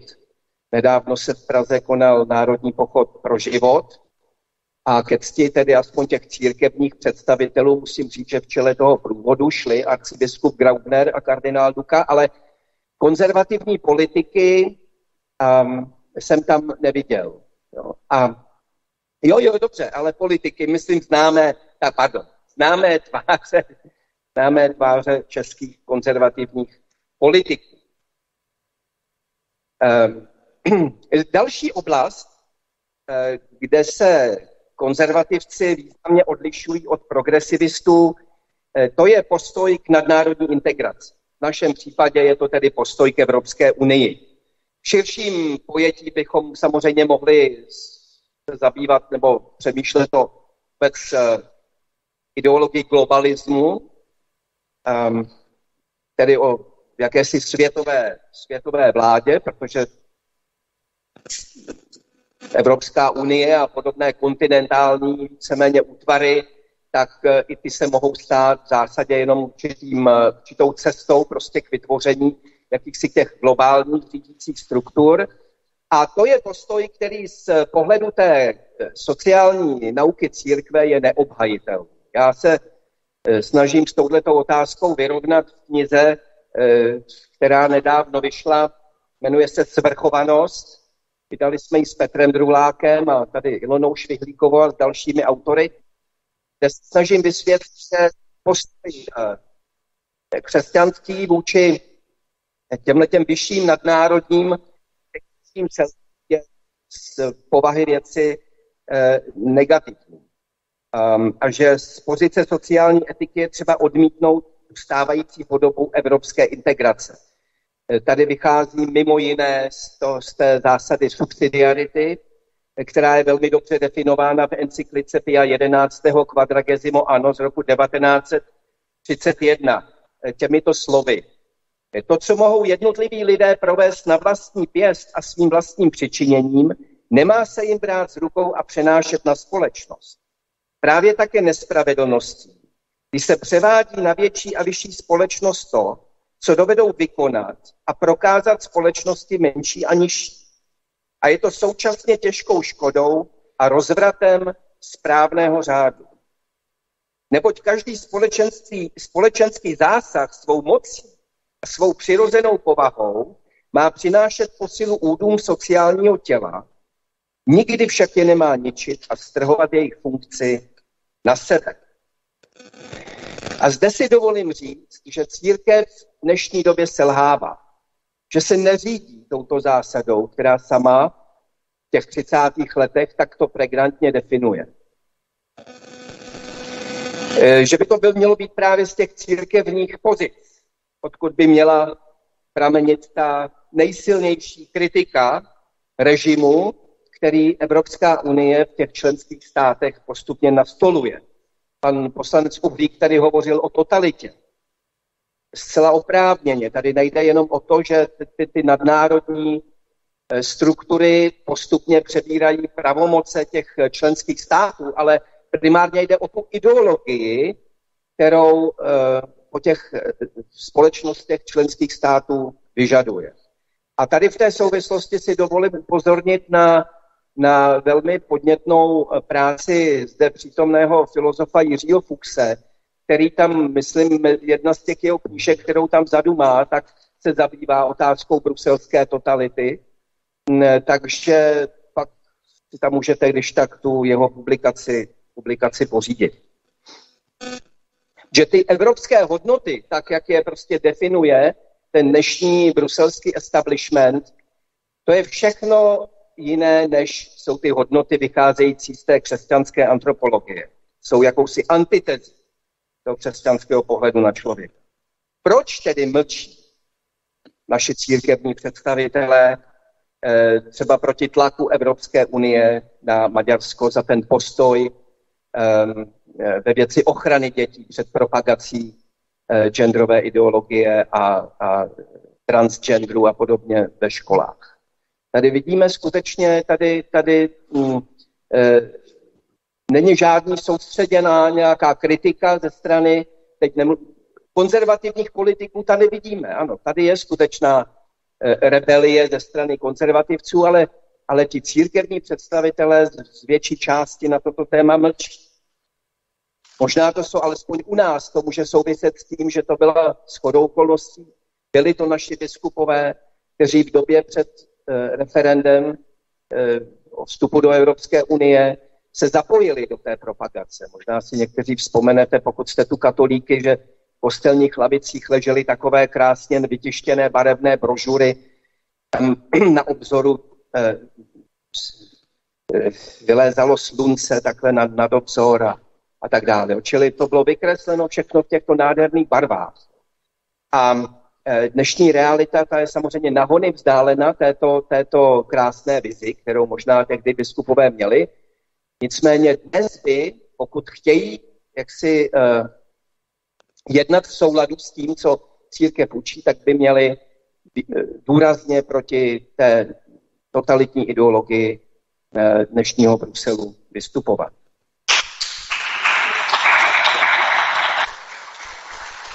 Sociální e, učení církve má rozpracované zásady i pro hospodářský život. Um, už vlastně tou první encyklikou Lva 13. v roce 1891 Rerum Novarum o dělnické otázce um, a na to navazující encyklikou, kterou jsem tady už zmínil, Pia 11. Quadragesimo ano, kde se e, vymezují kriticky jak vůči e, kolektivismu, socialismu, komunismu, tak i liberalismu a kapitalismu. Já vím, že od 90. let je tady zakázáno v uvozovkách mluvit o takzvané třetí cestě, ale e, skutečně to katolické sociální učení představuje určitou alternativu prostě k této dichotomii um, kolektivisticko-liberalistické. Proti kolektivistům hájí soukromé vlastnictví, ale proti liberálům hájí jeho sociální účel jakož je sociální práva dělníků či lidí chudých. Hájí zakládání odboru. Přichází s konceptem spravedlivé mzdy, zohledňující rodinné poměry, takzvaná rodinná mzda a tak dále. Tak dále. Nemáme čas eh, jít do podrobností, takže já si všimnu jenom jedna, jedné jediné oblasti veřejné politiky, která má eh, z pohledu té křesťanské antropologie značně tedy problematická východiska, a to je ta, ta agenda, už tady taky zmíněná agenda Green Dealu, agenda ekologismu, jakési na první pohled jenom přemrštěné starosti o naše životní prostředí, ale ta ideologie má ve skutečnosti hlubší, hlubší um, kořeny. Církev v prvé řadě není kompetentní rozhodovat specificky vědecké spory. Třeba spor o dopadech uhlíku na na eh, oteplování planety nebo jaký podíl má člověk na stejných klimatických změnách a podobně. A, ale bohužel fakticky ten její, řekněme, aparát eh, na čele s hm, papežem Františkem, tak převzal vlastně ty nepotvrzené závěry klimatických alarmistů a pracuje s nimi jako s fakty. Eh, František tomu věnoval celou encykliku Laudato Si, kde volá po takzvané ekologické konverzi. Um, ekologické, zavádí pojem ekologický hřích a podobně. Tak nejsme na teologické konferenci, tak já nebudu teď rozebírat tyto pojmy z pohledu katolické teologie, ale byly by víceméně uh, terčen mé jako kritiky. Ale pokud jde o tu samotnou péči o životním prostředí, na tom pochopitelně není nic špatného. Je to hodnota jak křesťanská, tak konzervativní. Ehm, ale to, to konzervativní a křesťanské východisko je tady jiné než u ekologismu. Ehm, oba ty proudy může sice povrchně spojovat kritika konzumního života, té nekonečné spotřeby, naopak eh, volání po šetrnějším, zdravějším způsobu, skromnějším způsobu života, obnova venková. To všechno to jsou hodnoty, které um, jsou konzervativnímu srdci jistě blízké. Ale kde se tyto dva proudy rozchází, to je v tom poměru člověka k přírodě. A z toho křesťanského hlediska tady dominuje otázka po účelu stvoření. Mluvili jsme o člověku jako o božím tvoru, čili celé, celý svět, celý vesmír je boží stvoření a tak jako je cílem člověka opět jeho stvořitel, tak v jistém smyslu je cílem celého stvoření stvořitel. V tom, že ho oslavuje. Čili ten první cíl božího stvoření je oslava boží. Vše je zaměřeno k Bohu. A člověk je Bohu zaměřený jinak. A právě tím se Bohu podobá, tím, že má rozum a svobodnou vůli, na rozdíl od ostatního hmotného světa. Čili v díle stvoření stojí člověk nejvýše. Právě tím, že dosahuje svého cíle svobodně. Proto nemůže být podřízen žádné jiné části vesmíru nebo vesmíru jako celku na způsob panteismu, kde by člověk byl jenom jakýmsi prostě derivátem toho celku. Ale to je přitom představa mnohých ekologistů. To je představa těch velkých konferencí OSN. To je představa Green Dealu, že člověk je to ve své podstatě škůdcem, někým, eh, koho je zapotřebí omezit důvodu udržení ekologické rovnováhy, protože člověk je jenom, jenom jednou z částí tohoto celku. A z křesťanského pohledu on není jenom jednou z částí. On je nejvyšším tvorem. To stvoření je mu dáno, aby mu sloužilo pro jeho dobro, pro dosažení právě toho jeho cíle. Cíle lidského života, kterým je spása duší. Či vše, co je tu, je tu pro člověka, k jeho službách.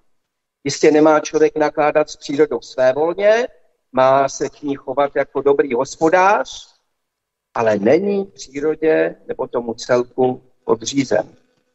Ekologismus je navíc integrálně propojen právě s tou zmíněnou ideologií globalismu.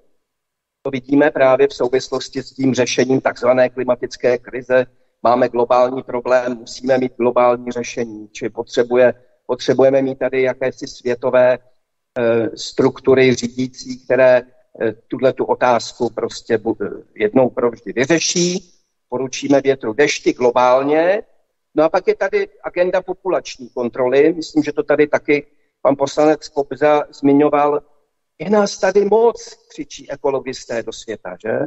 Zapotřebí optimalizovat počet obyvatel planety. Právě z důvodu té ekologické rovnováhy. Svět je přelidněn. Někdo je tu navíc. Tak se rozhlédněte po tomto konferenčním sále kdo je tady navíc? Možná, že byste, možná, že byste tady nebo někde na někoho tím prstem ukázali, ale z pohledu té křesťanské antropologie nikdo tady není navíc. Každý člověk je Bohem chtěn. Jo? Čili e, tyhle ty e, základní, řekněme, dogmata toho ekologismu jsou prostě v konfliktu, v tom základním nesouladu s tím křesťanským pohledem na člověka. Takže, abych to už sunul k závěru, církev ve všech těch uzlových bodech naší doby, které oddělují myšlenkově národní konzervativce od globalistů a progresivistů, stojí svými myšlenkovými východisky na straně národních konzervativů. Mezi nimi je přirozené spojenec. To je ale bohužel nahlodáno, ohrožováno z jedné strany pronikáním těch nekřesťanských ideologií do církve, ale také, a zvláště u nás na Slovensku ta situace je zase odlišná, takovým někdy vypjatým, hloupým uh, antiklerikalismem, odmítáním církve, zveličováním jejich chyb a tak dále. Čili, um, a tady bych chtěl na, upozornit na určitý problém, který si tím vytváříme. Konzervativní hodnoty jsou totiž bez té hluboké, řekněme, náboženské životní motivace jen obtížně v dlouhodobém horizontu udržitelné. Jsou sice, jsou sice doložitelné racionálně, bez, říkám, asistence náboženského zjevy. To jistě ano, silou přirozeného rozumu, ale zkušenost nás učí, že hm, do našich životů, když se rozhodujeme o různých věcech, tak vstupují různé motivace. Ne, není to vždycky jenom zájem o pravdu. A tady ta náboženská motivace je určitý silný korektiv pro to, abychom ve svém životě zůstali prostě na těch konzervativních pozicích. Založit systém konzervativních hodnot a jejich účinnou obranu jenom sekulárně, nebo dokonce sekularisticky, to znamená dokonce v opozici ke křesťanství, to si myslím, že je odsouzeno k nezdaru. Je v bytostném zájmu národních konzervativců, aby tato naruše, toto narušené spojenectví bylo obnoveno. Z jedné strany to předpokládá i tu, řekněme, aby tedy církev překonala svoji vnitřní krizi identity, aby zase mohla být jakýmsi dominantním ideovým a hodnotovým kompasem. A z druhé strany to zase znamená určitý, eh, jak si projevit větší ochotu eh, se skutečně zamyslet nad těmi autentickými eh, východisky církve. Některé zahraniční konzervativní spolky mají ve štítu takovou triádu Bůh, vlast, rodina Tak vlast rodina, tak tomu ještě rozumíme, tomu se taky mnozí hrdě hlásíme, no ale právě s Pánem Bohem máme problém. A moje závěrečná teze, i kdybyste všechny ostatní zapomněli, je ta, že bez Boha nebudeme mít zanedlouho už ani vlast, ani rodinu. Tak snad si to vezmeme v srdci. Děkuji za pozornost.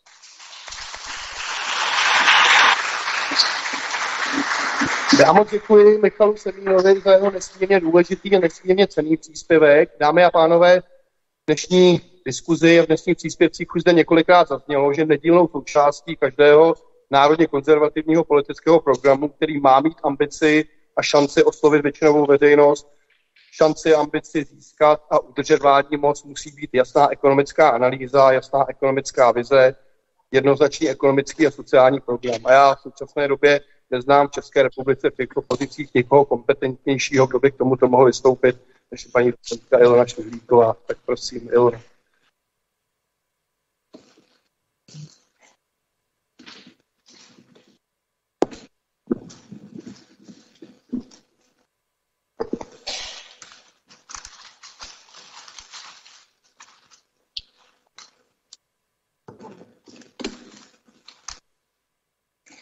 Dobrý den, já eh, děkuji za pozvání na dnešní akci. A eh, jsem ráda, že eh, jsem tady v dělnickém domě, což je docela, docela případné. No, když se bavíme o sociálně konzervativním přístupu k ekonomii, tak samozřejmě ta základní kategorie, která okamžitě nejenom mě vyptané na mysl je otázka svrchovanosti, o které už tady byla řeč. V této chvíli by asi bylo vhodné, abych zamávala svojí starší knihou, jak jsme se stali kolonií, tady nemám, tak zamávám tou novější, která se jmenuje Svrchovanost a eh, Svrchovanost zprava i zla. A věnuje se, eh, věnuje se řadě těchto témat. Ono eh, na začátku by asi bylo vhodné si říct vlastně, o čem se bavíme, to znamená, co to je ta ekonomická svrchovanost. My najdeme celou řadu různých přístupů. Eh, řekněme, že jeden z nich říká, že svrchovanost eh, je tehdy, když vlastně ten stát rozhoduje o všech ekonomických otázkách, což si myslím, že dneska není přístup úplně relevantní. Potom najdeme takový, kde se hovoří o tom, že by právě ta ekonomika měla být do značné míry uzavřená nebo mít minimální vztahy se zahraničím, takže to je nějaký koncept autarkie. Ale ani to se mi nezdá, že by bylo úplně eh, relevantní pro tu, eh, pro tu dnešní dobu. Je zajímavé, že u té autarky se šíří hromada, hromada dezinformací, abych tak řekla moderním slovníkem, protože někdy ta, ta potravinová soběstačnost se bere jako něco, co je možné naplnit jenom při zcela uzavřené ekonomice a to samozřejmě není pravda, dokonce ani FAO tuhle definici vůbec nemá, nepoužívá. Takže já bych použila uh, ten přístup, který se mi zdá nejrealističtější v té současné situaci, a sice ekonomická svrchovanost nastává tehdy, pokud může stát ovlivňovat, formulovat a implementovat eh, vlastní hospodářskou politiku a má kontrolu nad základními zdroji. Když si dáme tenhle ten přístup v hospodářské politice, tak nás automaticky napadne, že samozřejmě ta uh, současná situace není úplně ku prospěchu naplňování ekonomické suverenity, když ono hodně záleží na tom, eh, v, jakém, eh, v jaké zemi jsme a jaké historické tradice ta země má.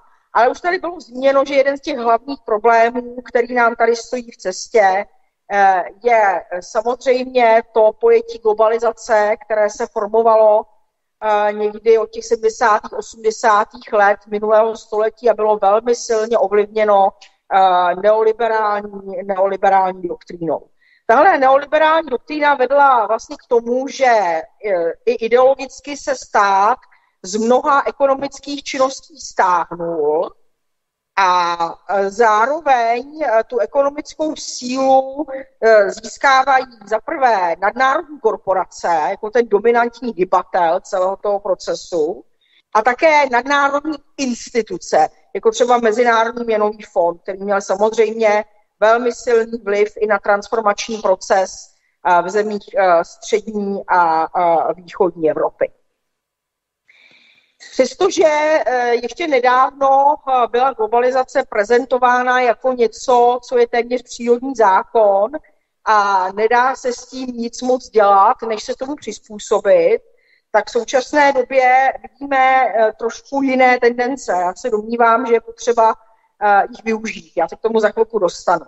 Nicméně ta první reakce států vůči tomu procesu globalizace, který sami pomáhali spustit tím, že se zbavovali řady nástrojů a nebo jim bylo ideologicky tvrzeno ve zprávě třeba transformace zemí střední a východní Evropy, že tohle všechno je balast, kterého se stát musí zbavit, že je potřeba hledat, co všechno zprivatizovat, deregulovat a liberalizovat, tak ta prvotní reakce států byla v procesu, který už tady byl taky opakovaně zmíněn, a sice v integraci.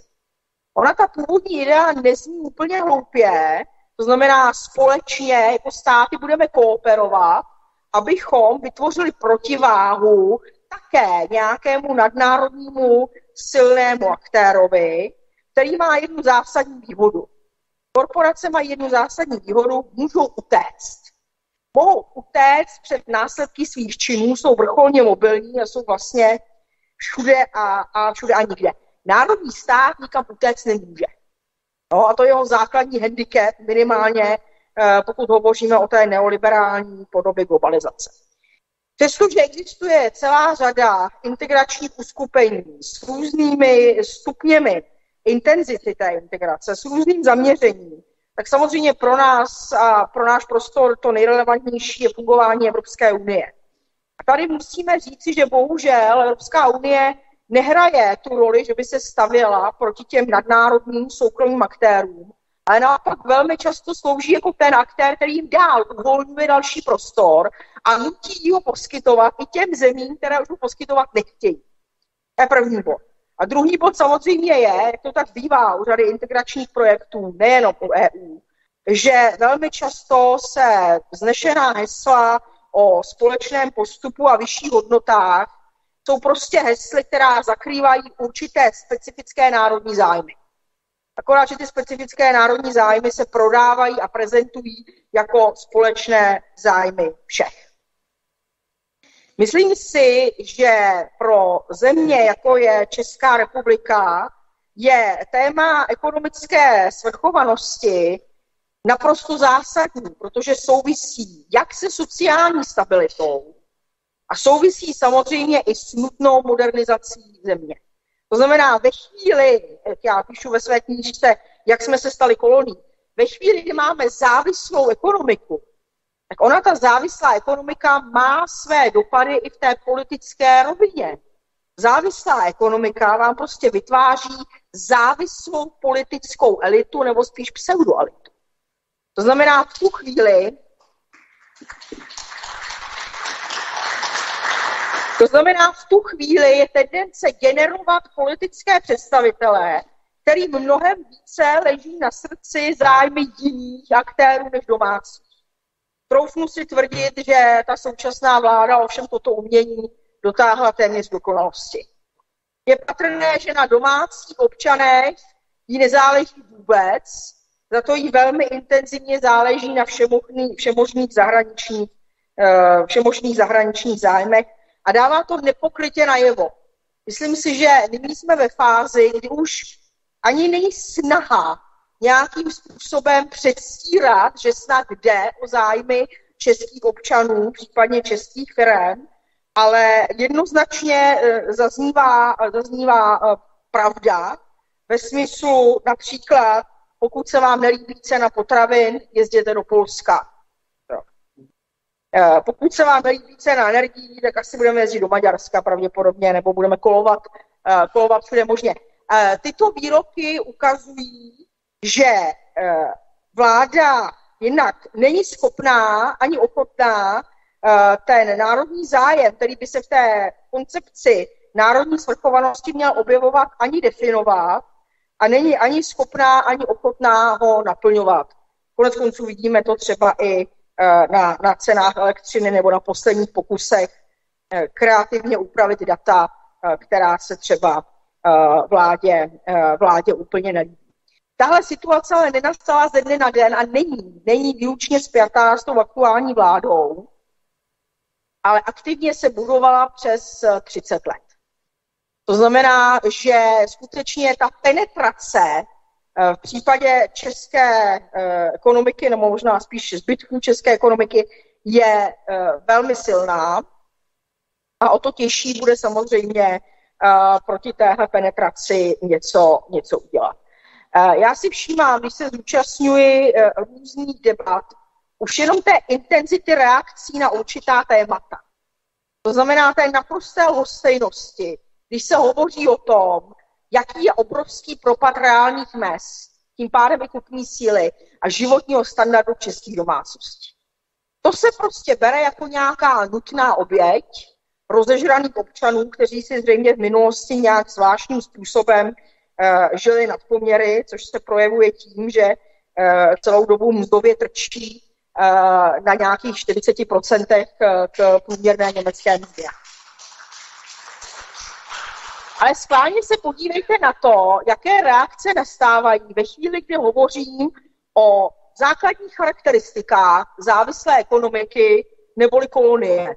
To znamená otázka samozřejmě odlivu dividend ze země, ale i dalších jevů, které jsou spíše skryté a nenajdeme je v oficiálních statistikách třeba České národní banky. Typicky je to zneužívání vitrofiremních cen a velmi podivné ekonomické vazby mezi zahraniční matkou a domácími dcerami.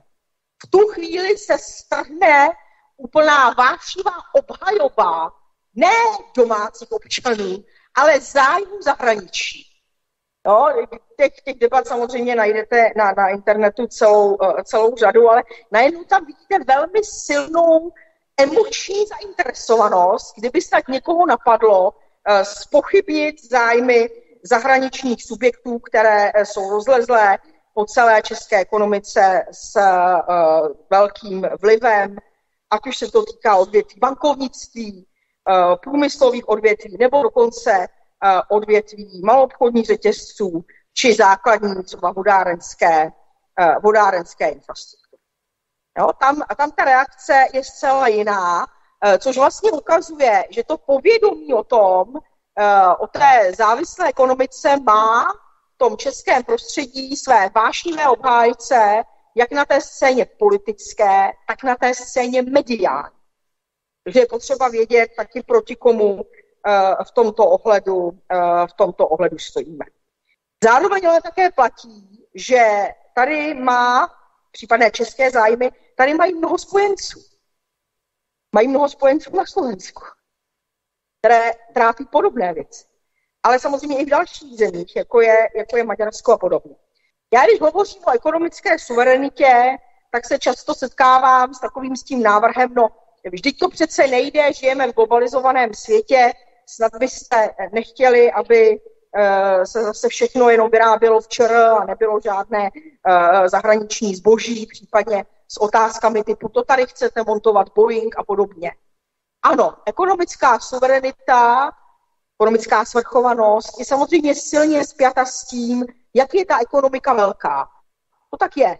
Samozřejmě ekonomika typu Číny bude mít úplně jiné manévrovací možnosti než ekonomika typu ČR. Ale to neznamená, že na tu ekonomickou svrchovanost rezignujeme úplně. Vždycky záleží na tom, do jaké míry se nám podaří uh, ji naplňovat.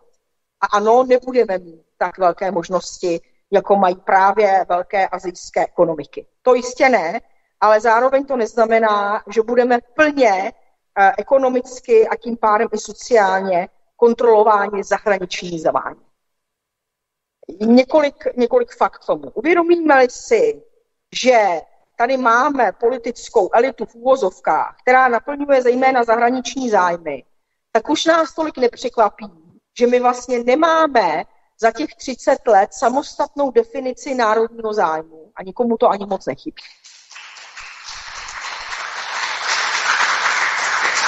Naopak, u té současné vlády vidíme, s jak velkou ochotou a přímo nadšením hraje roli pěšáka na šachovnici a přejímá zájmy úplně cizí a vydává je za naše. Přestože ty cizí zájmy jsou pro nás potenciálně velkým ohrožením. A teď hovořím o struktuře ekonomiky, hovořím o energetice, o energetické bezpečnosti jako takové a hovořím samozřejmě i o bezpečnosti, kdy se sami nabízíme jako terč v rostoucím napětí mezi velmocemi. To je naprostá sebedestrukce.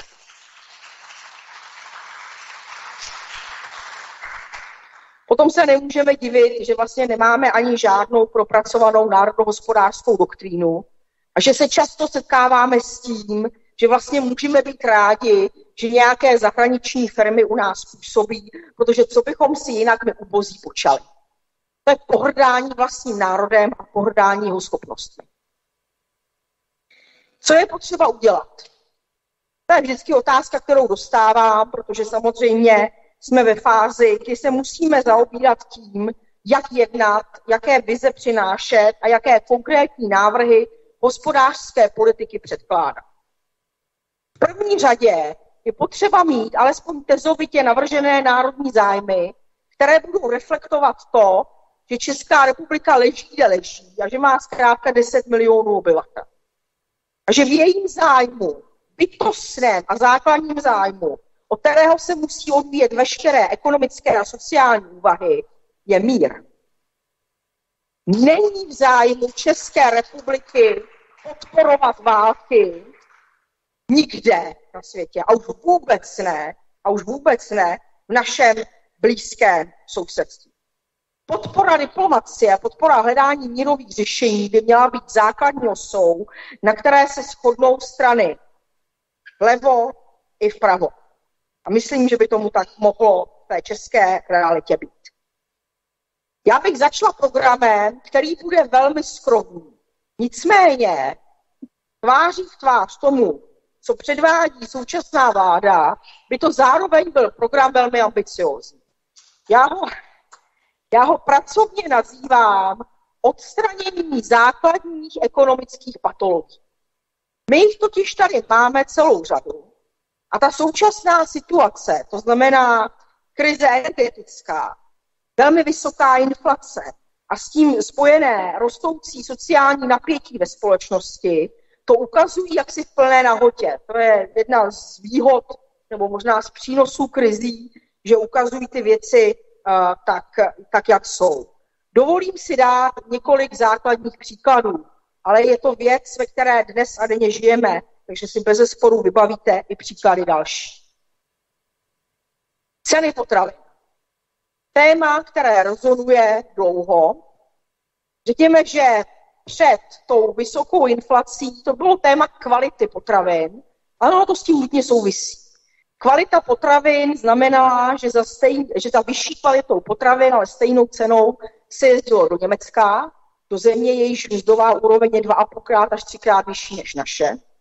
A nyní za levnými potravinami jezdíme do Polska, respektive ti, kteří to mají blízko, jezdí do Polska. A dokonce to je i součást jaksi rad uh, od poradce, od uh, poradce premiéra. Je jasné, že něco je velmi špatně. Představa, že trh to vyřeší, kterou jsem slyšela od některých představitelů vlády, je jaksi zcela milná. Trh to jaksi už vyřešil, a to v neprospěch českého spotřebitele. Vláda má k dispozici celou řadu mikroekonomických nástrojů, počínajíc angažováním finanční zprávy, Úřadu pro ochranu hospodářské soutěže a využití zákona o cenách, který nabízí podstatně více možností, než jenom tolik kritizované cenové stropy. Co z toho bylo využito? Nic. Místo toho slyšíme, že máme jezdit nakupovat do Polska. Dalším příkladem je samozřejmě energetika. Jak je možné, odpovíte si jistě sami, že dokážeme velmi levně elektřinu vyrobit, tomu bude mimochodem brzo konec, samozřejmě s tou, s tou politikou zelené tranzice, ale zároveň máme ceny energií jedny z nejvyšších, nejvyšších v Evropě. A uvědomme si, že pokud tomu tak skutečně je, tak je to zásadní ohrožení vůbec pro ten celý hospodářský model, který máme. Protože vysoké ceny energií a nízká přidaná hodnota v ekonomice vám automaticky znamená, že ty zahraniční korporace, které tu ekonomiku dominují, vám musí zmáčknout něco jiného, to znamená mzdy. Zmáčknout mzdy. A jako my musíme, my nemáme na výběr. Stejně tak uh, a nadšené hlásání se k řadě opatření, změny, výrazné změny průmyslové struktury, která ovlivní podle mého názoru vůbec to, z čeho bude Evropská unie žít a samozřejmě ovlivní také životní standard občanů, tak místo toho, aby to bylo zdroje znepokojení minimálně, tak je to vlastně přijímáno nadšení.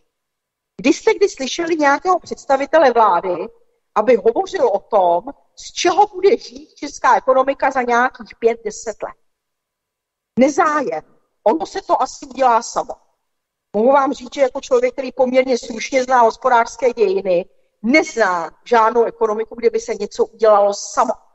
Zatím byla vždy velmi cílevědomá státní politika. Já jsem ráda, že pan profesor zmínil mého oblíbeného Alexandra Hamiltona, který mnoho vykonal pro to, aby Spojené státy dohnali a předehnali Velkou Británii a stali se v poslední čtvrtině 19. století největší světovou ekonomikou. Byla zatím velmi cílevědomá eh, státní politika. A to najdeme samozřejmě i u řady dalších zemí, počínají Singapurem a konče eh, dnešní, eh, dnešní Čínou.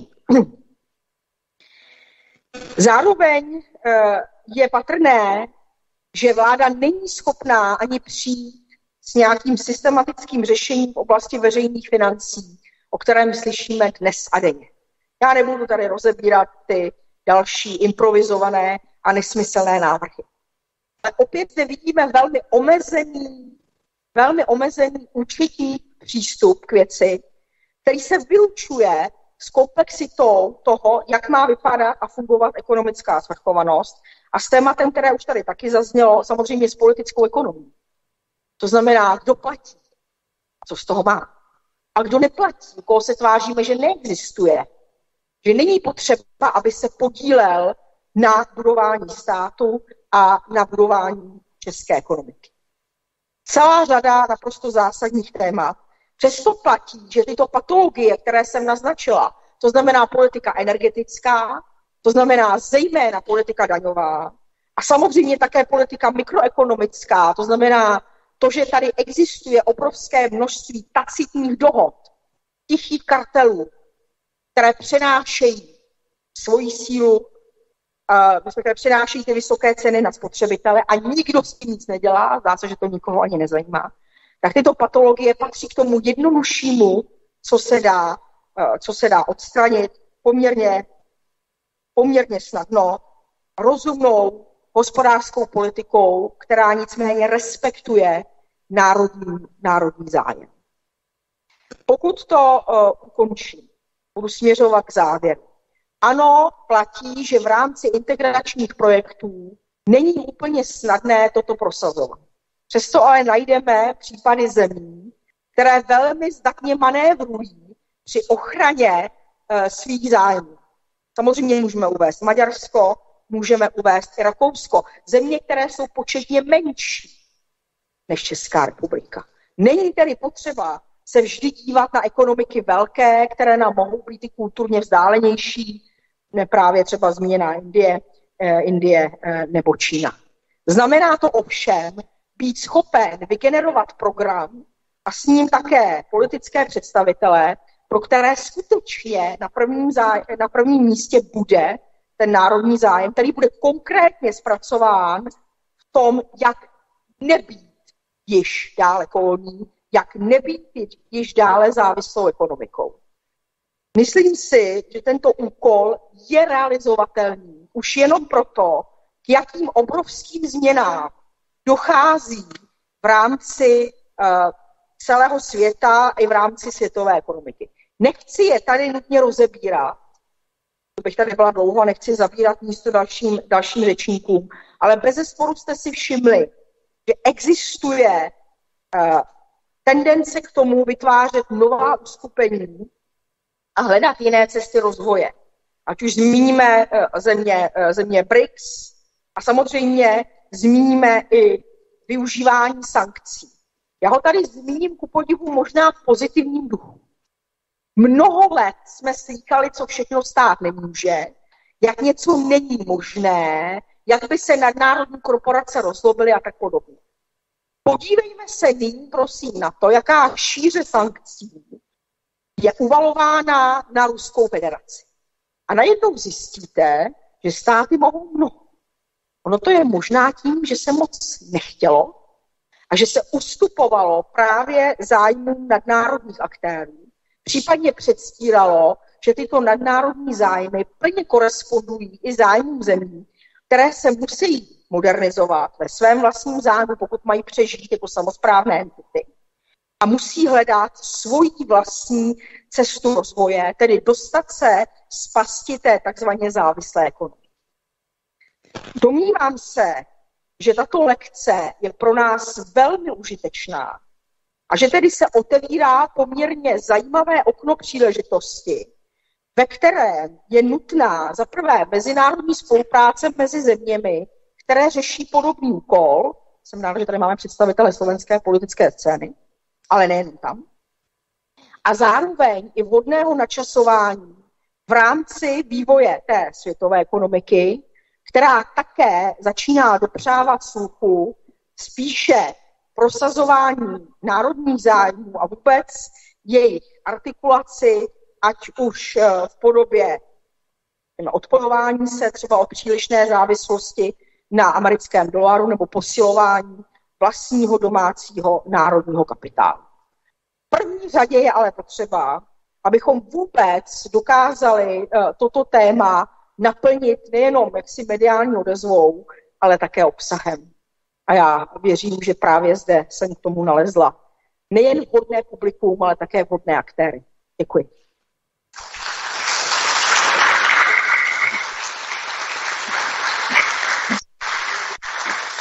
Já moc děkuji paní docence Elně Šmihlíkové za její skvělý propracovaný projev, velmi inspirativní, nejenom pro přítomné politiky.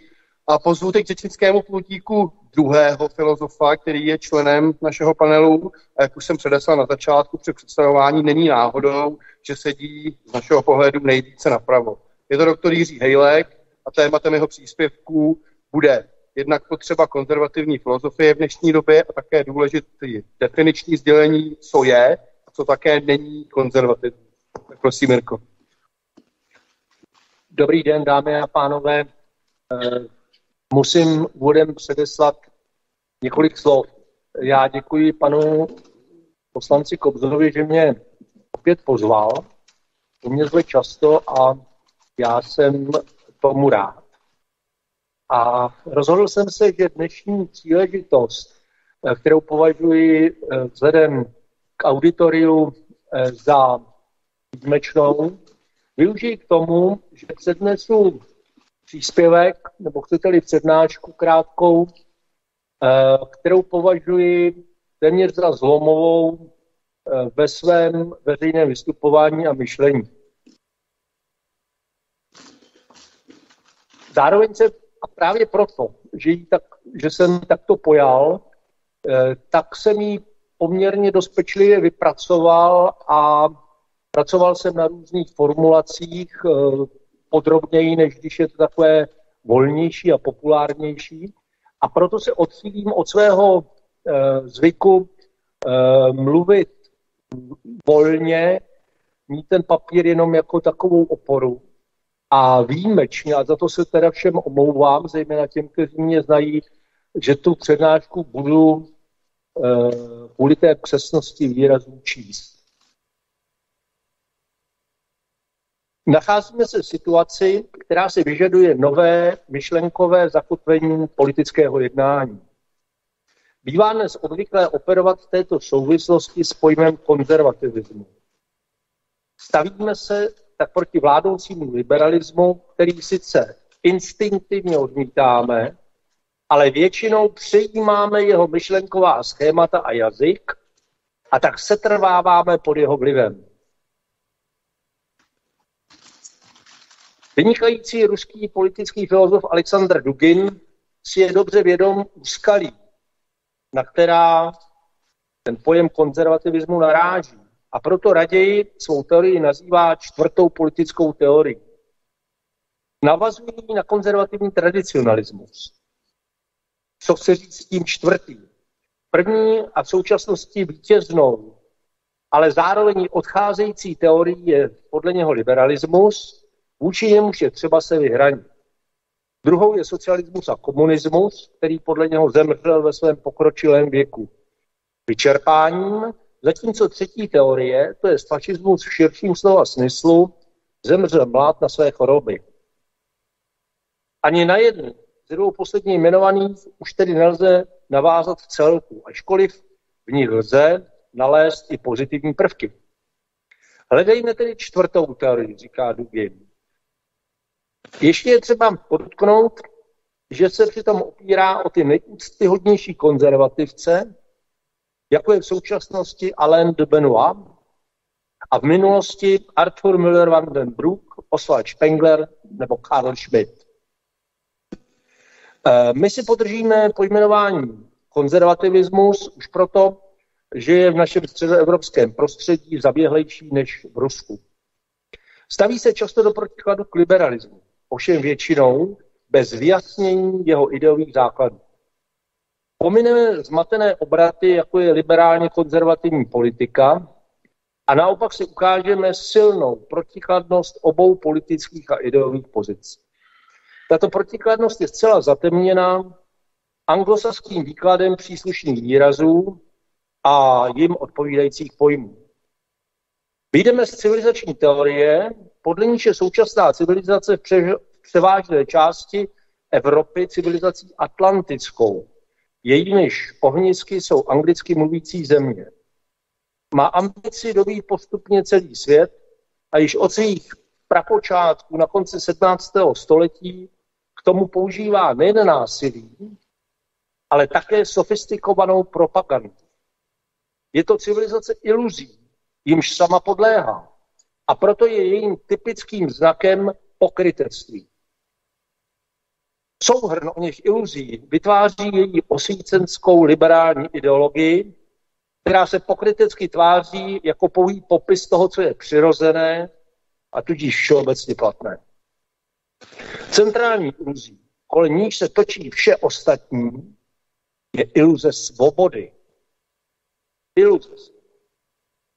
Liberalismus vyfabrikoval takzvané svobodné individuum, které si je na jedné straně rovno se všemi ostatními a na druhé straně je pouhým exemplářem jakéhosi člověka vůbec.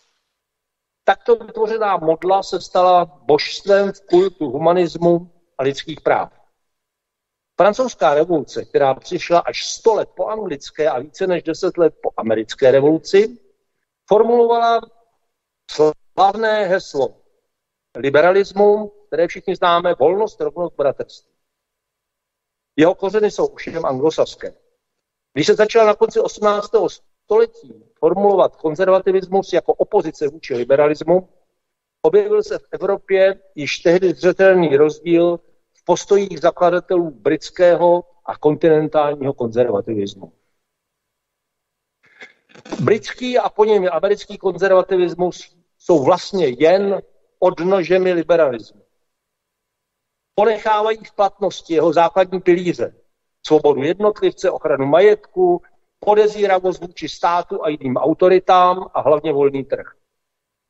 Konec konců dva slavní britští konzervativci vyšli z řad liberálů, jako byli Edmund Burke a Winston Churchill.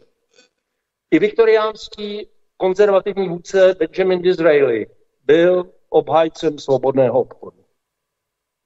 Nesmíme si dělat iluze ani o svých anglosaských konzervativních hrdinech 80. let, o Ronaldu Reaganovi a Margaret Thatcherové.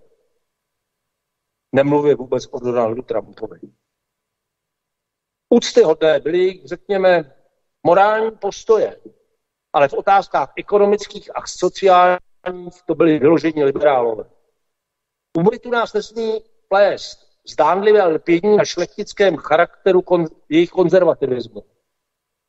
Hned po anglické revoluci eh, v roce, z roku 1688, tedy po té slavné revoluci, jak tomu se mi říkají, na níž je Edmund Berg tak pišný, se z šlechticů stali kapitalističtí podnikatelé, zatímco ve Francii, no tož pak v Německu, zůstala dlouho oddělena šlechta od měšťanstva.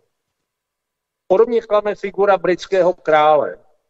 Vliv koruny upadal až s nástupem hanoverské dynastie, která drží korunu dodnes, Británie se stala v podstatě orga, oligarchická republika, ovládaná finančníky z londýnské city, kteří v roce 1688 svrhli legitimního krále Jakuba a dosadili na trůn své loutky Marie Stuartovou a Vilema Oranžského.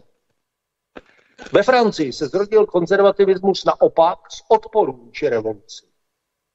Všichni znají jméno pseudokonzervativce Berka, ale kdo zná, že, kdo z nás zná Josefa de Mestra nebo Luise Gabriela de Bonal? Skutečné pravce konzervativismu. Anglosaskému umění propagandy se podařilo tyto velikány téměř vymazat z historické paměti. Podobně se vedlo dalšímu šlechtici a diplomatovi Španělu Juanu Donoso Cortézovi. Není náhoda, že všichni byli katolíci, stejně jako zakladatelé německého romantického konzervativismu Adam Miller, Friedrich Schlegel a Friedrich Wilhelm Josef Schelling. Patří sem i básníci a spisovatelé. Vedle již uvedeného Schlegla je to i jeho přítel Novalis, francouz François René de Chateaubriand a později, a na to nesmíme nezapomenout, obdivuhodný Fyodor Michailovič Dostojevský.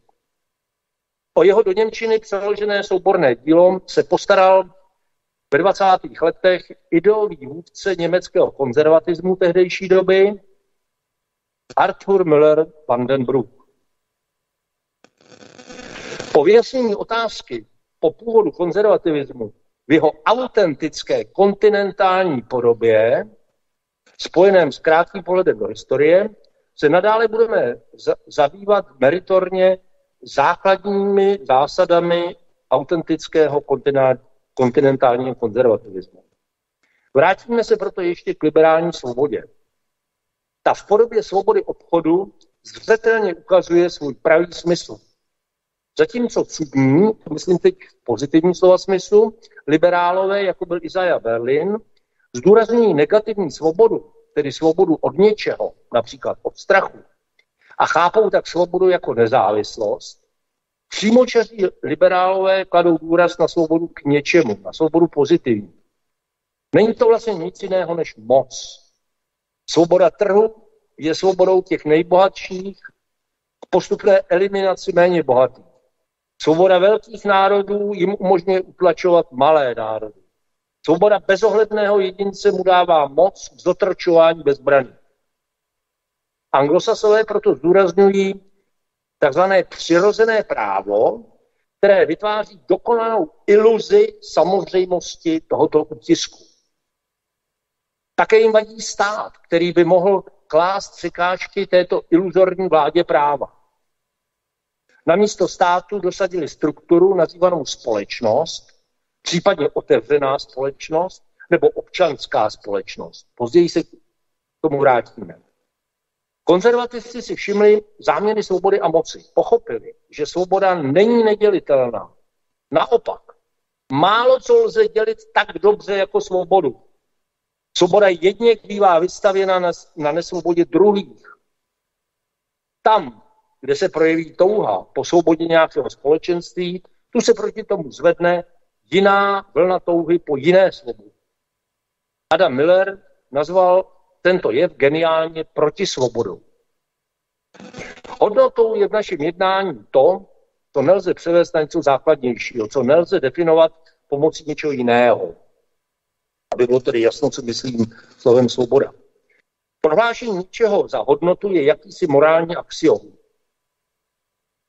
Kantova interpretace hodnoty jako kategorického imperativu, která byla milná, eh, tu zatím tu nebudeme probírat vůbec.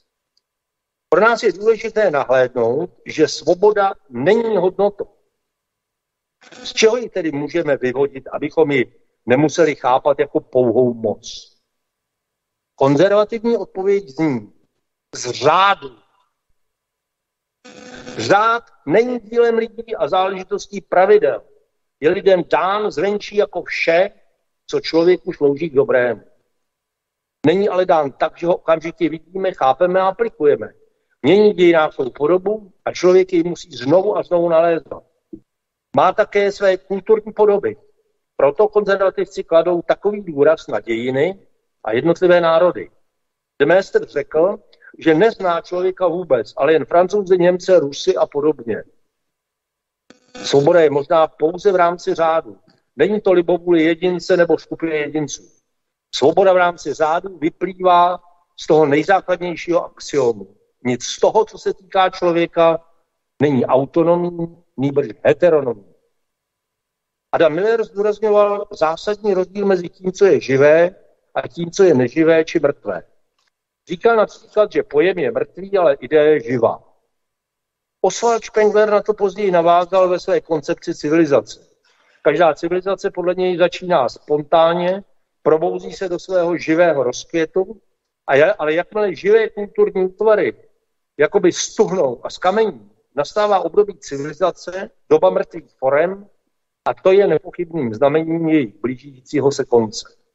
Autentický konzervativec rozpoznává ve všem tento rozdíl a rozlišuje mezi organickým a mechanickým, mezi tím, co umí samorůst a tím, co je pouze se strojem. Vše, co má svůj původ v lidské autonomii, je umělé, mechanické, tedy mrtvé. To, čeho se nám heteronomně dostává, je živé, je organické. Řád je ze své povahy organický, což je mnohem lepší určení než přirozený. Princip heteronomního řádu tvoří ostrý protiklad vůči autonomistické myšlence deterministické zákonitosti dějin a jejich imanentního samopohybu a tím rovněž myšlence pokroku. Budeme-li se držet hesla francouzské revoluce, měli bychom se nyní zabývat rovnost. Na první pohled je zřejmé, že i rovnost patří do oblasti mrtvých mechanismů. Ať se liberálové kroutí, jak umějí, vždy dospějí k tomu, že rovnost převedou na stejnost. A původně zamýšlená právní rovnost v kombinaci s liberálním pojetím svobody jako libovůle na jedné straně převádí každého živého člověka na lhostejný mrtvý prvek takzvané společnosti a na druhé straně mu dovoluje, aby si samozřejmě iluzorně ze sebe vytvořil, co je mu libo. Tak se například stalo, že jsme se od právního postavení žen dopracovali až k vytvoření desítek sexuálních statutů, jimž se zcela nesmyslně říká pohlaví. Vnutřuje se proto otázka následující. Tak jako je řád základem možné svobody, co je podobně základem rovnosti. A jako rovnost je propojena se svobodou, bude i základ rovnosti spojen s řádem. Tentokrát má odpověď dvě slova. Ta ovšem úzce významově souvisejí. Tímto základem jsou hierarchie a autorita. A s řádem samozřejmě souvisí. Ještě v počátcích osvícensko-atlantické civilizace se udržovalo povědomí o uspořádanosti všeho jsoucího. Karl Linné a jeho následovníci nacházeli řád přírody v jejím hierarchickém uspořádání. Přírodovědec a naturfilozof Lorenz Oken vytvořil v první polovině 19. století propracovaný systém celé přírody. Zhroucení principu hierarchie nastalo teprve tehdy, když byla hierarchie, která překážela osvícenskému způsobu myšlení, protože udržovala myšlenku heteronomie, doslova zglajšaltována. Tento nacistický výraz je zde na místě. A to pomocí čistě autonomistického principu evoluce. Evoluční model odklidil evropskému lidstvu z cesty hierarchické myšlení, a to nejen ve vztahu k přírodě, ale ve vztahu k lidskému okolí. Dodnes se filozoficky podceňuje darwinistické popření mezidruhových hranic, jež se staly tzv. plynulými. Zatímco v přírodě je hierarchie imanentní vlastností, kterou nemá kdo spochybnit, v lidském prostředí, všimněte si, že ho nenazývám společností, je udržována, případně proměňována heteronomním činitelem, nímž je autorita. Propůjčovaná určitým lidem, kteří jsou odpovědní za její používání. Ta je nezbytným nástrojem udržování lidských celků pohromadě. Po rozbití hierarchie v přírodním okolí, eh, v přírodním okolí musela atlantická civilizace najít cestu k narušení hierarchie i v lidském okolí. Jedinou možností bylo popření autorit všeho typu, které křehkou mezilidskou hierarchii uvedlo v současný chaos. Autentický konzervativec proto musí trvat na obnovení autority, a to zejména ve čtyřech oblastech. Jsou to rodina, škola, práce a stát. Zatímco kolem prvních tří autorit, tedy rodičovské, učitelské a zaměstnanecké, zřejmě nevznikne příliš mnoho sporů, je autorita státu v dnešní době problematická. Konzervativní vysvětlení tu ovšem existuje. Státem rozumíme takovou strukturu institucí, která občanům daného státu zajišťuje to, čemu Aristoteles říká euzen, dobrý život, nebo přesněji dobré žití. Tím ovšem není míněn hmotný blahobyt, nýbrž důstojný život. Stát neboli obec musí svým vládnutím poskytovat lidem lepší rámec jejich života, než jaký by měli bez něho. Bohužel dnešní, dnešní politický útvar, který předstírá, že je státem, ani nevládne, ani nespravuje zemi tak, aby život v něm byl důstojný. Konzervativcům jde o to, aby národ obnovil svou plnou státnost, jež by mu přinesla takový stát, který by se mohl stát skutečnou autoritou. Na tomto místě nejde ignorovat otázku demokracie. Pro náš výklad není klíčová, proto se na ní podívejme jen povrchně. Dnes se nepoužívá hesla svoboda a rovnost, nýbrž hesla svoboda a demokracie. Někdy se ještě přidává prosperita, která je sice dobrá a proklid, zejména proklid ve státě, pardon, ale důležitější je onen důstojný život, o němž byla řeč. Jestliže se nějaké heslo opakuje neustále až do omrzení, e, ztrácejí v něm použitá slova svůj význam a aby si zachovala svou účinnost, bylo by třeba ta slova stáhnout z oběhu, tak jako ošoupanou minci nebo osahanou bankovku. To se ovšem často neděje. Heslo totiž mění své poslání. Stává se z něj šaháda. Stručné vyznání víry a jeho vyslovení se dává najevo, že patříte k nějakému náboženství. Když se dnes někdo přihlásí ke svobodě a demokracii, ukazuje, že patří k atlantické civilizaci a vyznává její náboženství, když je soustředěno kolem posvátných hodnot liberalismu, tedy svobody, demokracie, tedy rovnosti a lidských práv, tedy bratrství. V římské říši se lojalita vyjadřovala obětováním římským bohům. Křesťané mají krédo a muslimové šahádu. Komunisté měli socialismus a proletářský internacionalismus. Okolnost, že se slovo demokracie stalo takovým zaklínadlem, stěžuje jeho rozbor a interpretaci. U svobody je to trošku snažší, jak jsme viděli, protože jsou i jiné způsoby užití slova svoboda. Jakmile ovšem zbavíme slovo demokracie jeho ideologického kontextu, nepředstavuje pro konzervativce závažný problém. Má pak dvojí smysl. Předně vyjadřuje snahu poskytnout podíl na veřejném dění všem občanům vybaveným příslušnými právy, tedy nikoliv například cizincům. Demokracii v tomto smyslu chápe konzervativec jako protiklad vůči oligarchii, jež je typickým politickým zřízením liberalismu, který se pokrytecky maskuje jako demokracie. Taková demokracie není než vládou peněz, jak dokázal před sto lety Oswald Spengler. I ve druhém smyslu je demokracie za určitých podmínek pro konzervativce přijatelná.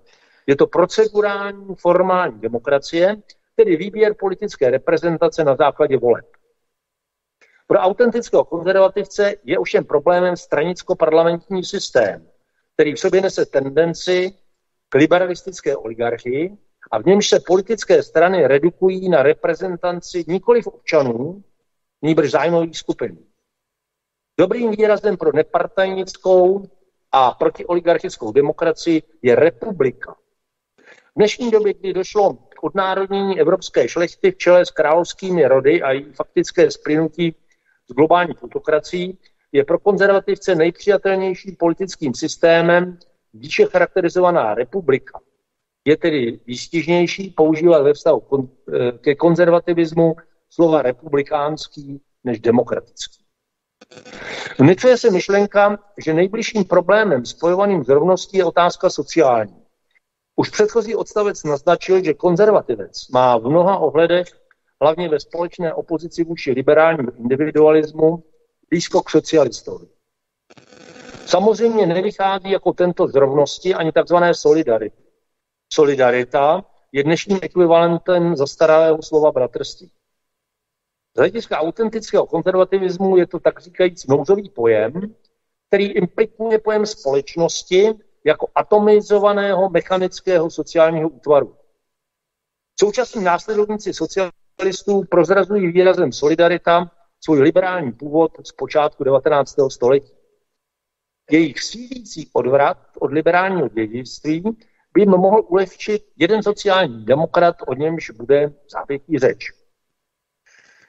Z již probraných protikladů živého a mrtvého, organického a mechanického vycházel tvůrce německé filozoficky pojaté sociologie Ferdinand Tönnies. Jako aktivní odpůrce nastupujícího nacionálního socialismu se v roce 1930 ve svých 75 letech stal členem sociálně demokratické strany Německa.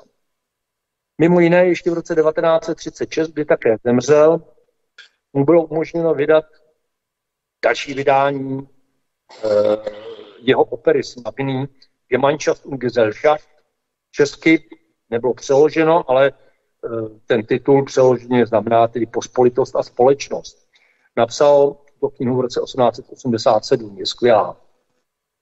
Eh, stavím proti sobě mechanické a organické sociální útvary. Reprezentantem mechanických je společnost, reprezentantem organických je pospolitost. A právě pospolitost se ve 20. století stala pro konzervativce klíčem k řešení sociálních problémů. Angloamerickém světě dokonce působil v politické filozofii konce 20. století směr podle anglického výrazu pro pospolitost nazývaný komunitarismus.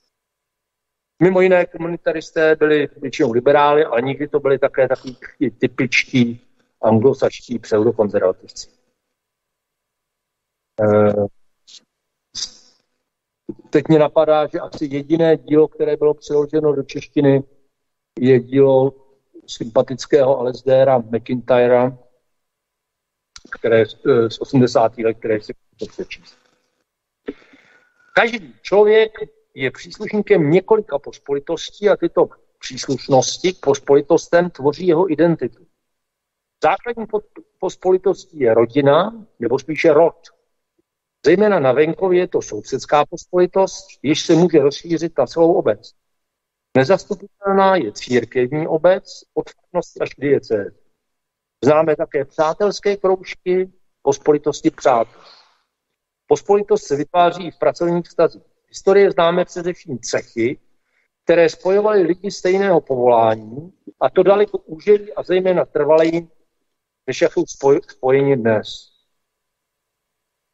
Pospolitosti jsou schopné vytvořit mnohovrstevnou síť vztahů, jejíž ubohou náhražkou je takzvaná občanská společnost, kde se nevybuduje identitární struktura pospolitostí, tam čert nastrčí občanskou společnost. Pospolitostí, která v sobě zahrnuje všechny ostatní, je národ.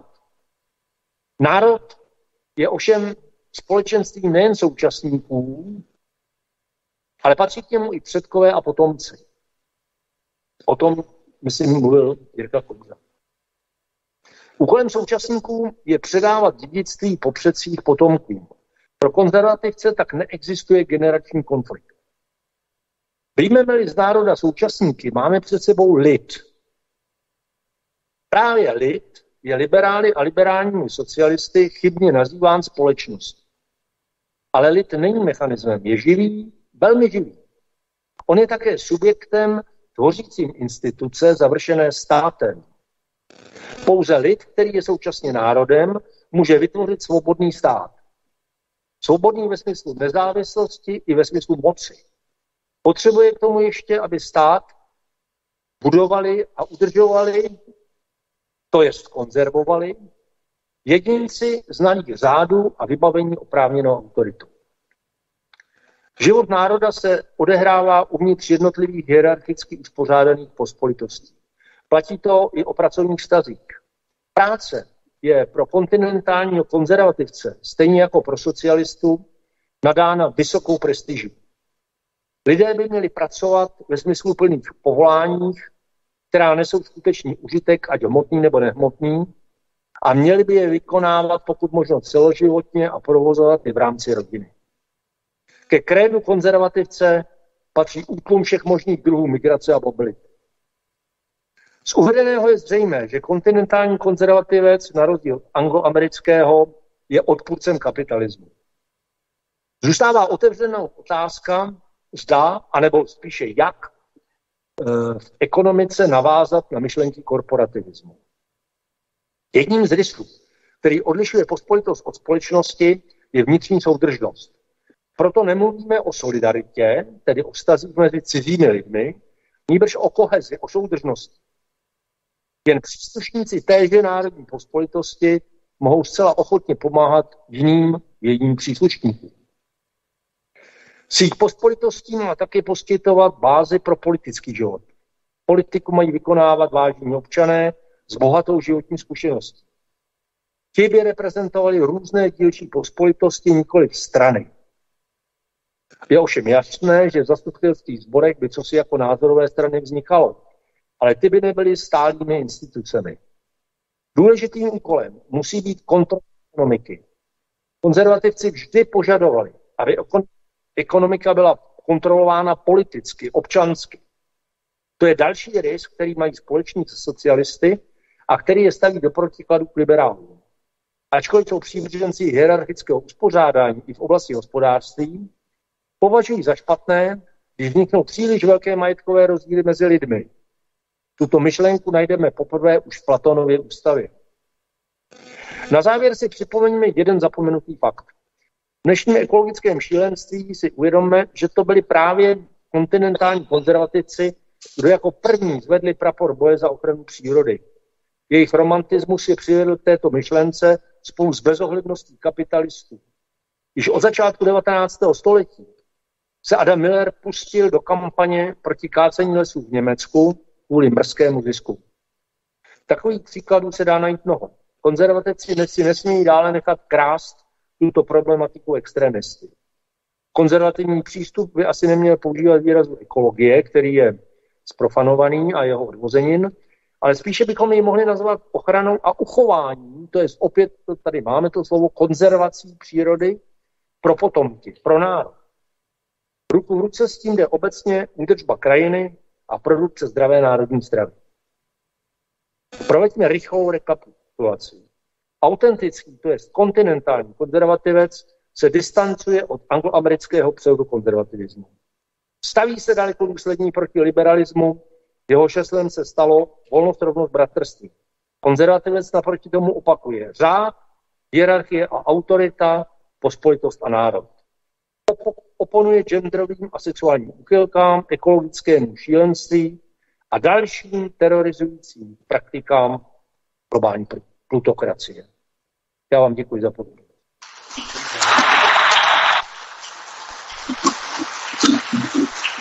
Já moc děkuji Jiřímu Hejlkovi za jeho interní konzervativní manifest a návrat ke kořenům skutečného konzervatismu. A závěrečné vystoupení v rámci této části našeho panelu pronese paní Monika Pilony, což je publicistka, rozhlasová redaktorka a politická analytička. Tématem její vystoupení bude konzervatismus v Itálii, respektive konzervativní ideje a hodnoty v politickém programu a praxi Legy Salviniho. Prosím, Monika.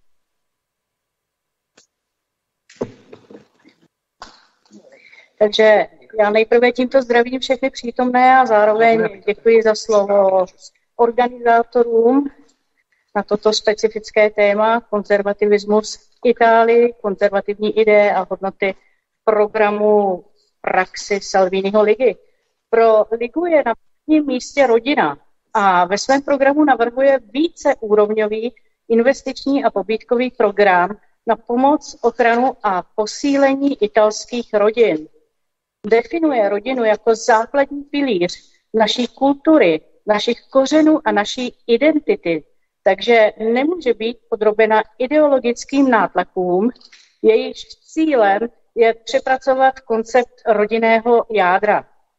Rodinu je třeba bránit, podporovat a oceňovat jako generátor budoucnosti země. Stát má povinnost vynaložit maximální úsilí týkající se budoucnosti dětí, protože děti jsou budoucností státu. Na druhou stranu je úkolem každé generace připravit cestu té, která bude následovat. Spolu s rodinou. V návaznosti tedy v programu Ligy ochrana křesťanských kořenů a náboženská svoboda a nedílnou součástí je samozřejmě tradice, jsou tradice a zvyky, které definují identitu národů. A Salviniho liga je definicí, nebo se definicí řadí právě mezi identitáře. V praxi se liga vyznamenala například právě tím, že zavedla Ministerstvo pro rodinu a postižené občany. V nedávné minulosti v letech 2018 eh, až 2019 Liga dokázala úspěšně chránit s Matem Salvínem v roli ministra vnitra vlastní zemi a tím pádem i Evropu a téměř zastavit nelegální migraci a to k velké nelibosti progresivistů, za což je dodnes soudně stíhán. Jen tak mimochodem pro informaci, pouze tento rok od 1. ledna do včerejšího rána připlulo nelegálním způsobem pouze teda přes moře 40 eh, 856 migrantů pouze do Itálie. Ve čtvrtek jich bylo za jeden den 1306, ve středu například 1098. To jen tak pro uvedení nějaké podrobnosti. Nejvíce jich je z pobřeží Slonoviny, Gvínej, Egypta a pak následují další. Takže identitární proud ligy skvěle reprezentuje poslanec a místo předseda ligy Lorenzo Fontana, nyní také předseda poslanecké sněmovny italského parlamentu, zde připomenu, že volby do poslanecké sněmovny a senátu proběhly v Itálii 25. 9. 2022, takže abych byla konkrétní, po tomto, co jsem v minulých dnech komunikovala a aktualizovala informace s týmem Lorenza Fontány, rozhodla jsem se, že zde připomenu jeho stále aktuální příspěvek na mezinárodní akci, která se konala 30. září 2022 v Římě v hotelu Quirinale právě na téma italský konzervativismus Europe Identity Freedom za přítomnosti hlavních konzervativních hnutí z Itálie i zahraničí, kde nechyběl ani zde přítomný Michal Semín. V té době ještě Lorenzo Fontana mimo jiné nevěděl, že bude zvolen do funkce předsedy poslanecké sněmovny italského parlamentu. Bylo těsně po volbách a Každopádně zmín, zmínkou o nich eh, Fontána svoji řeč začal, takže já cituji. Domnívám se, že jsme ve zvláštní historické situaci. Itálie vyslala důležitý signál tedy v tu neděli 25.9. a nedlouho před ním i Švédsko. A Fontána dále pokračuje a říkal, e, jsem přesvědčen, že musíme maximálně využít příležitosti, které jsme dostali. Ocitli jsme se ve velmi komplikované geopolitické situaci, ve které mají země i v Evropě velmi odlišné zájmy. Ale to neznamená, že nás boj o určité hodnoty nemůže spojit. Podle mého názoru musíme navrhnout především společnou akci konzervativních a identitu nesoucích zemí a stran formulování agendy, která může být kulturní alternativou, především tedy kulturní dlouholeté socialistické agendě. Já ji nazývám také globalistické, protože socialismus je v Itálii především téměř umírněný pojem, ne? Takže je tady, mývá vždycky obavy, protože když slyší o socialismu, tak si často představuje samozřejmě diktaturu, která probíhala jinde. Chceme-li to, co se dnes tak trochu formou globalismu, to znamená pokus položit bezúzdné rovnostářství směrem dolů, to znamená, čeho si v Itálii, stejně jako v mnoha částech Evropy všimnou, je, že tato socialistická společnost, která se pomalu infiltruje přes média, především přes kulturu, a je to něco, co bohužel, řekněme, pravice, identitáři a konzervativci vždy trochu do, doteď zanedbali. Takže tato věc je pak eh, vede k tomu, že i když nevyhrají volby, dokážou prosadit svůj politický program. A když se podíváte, tak především jistou byrokracii.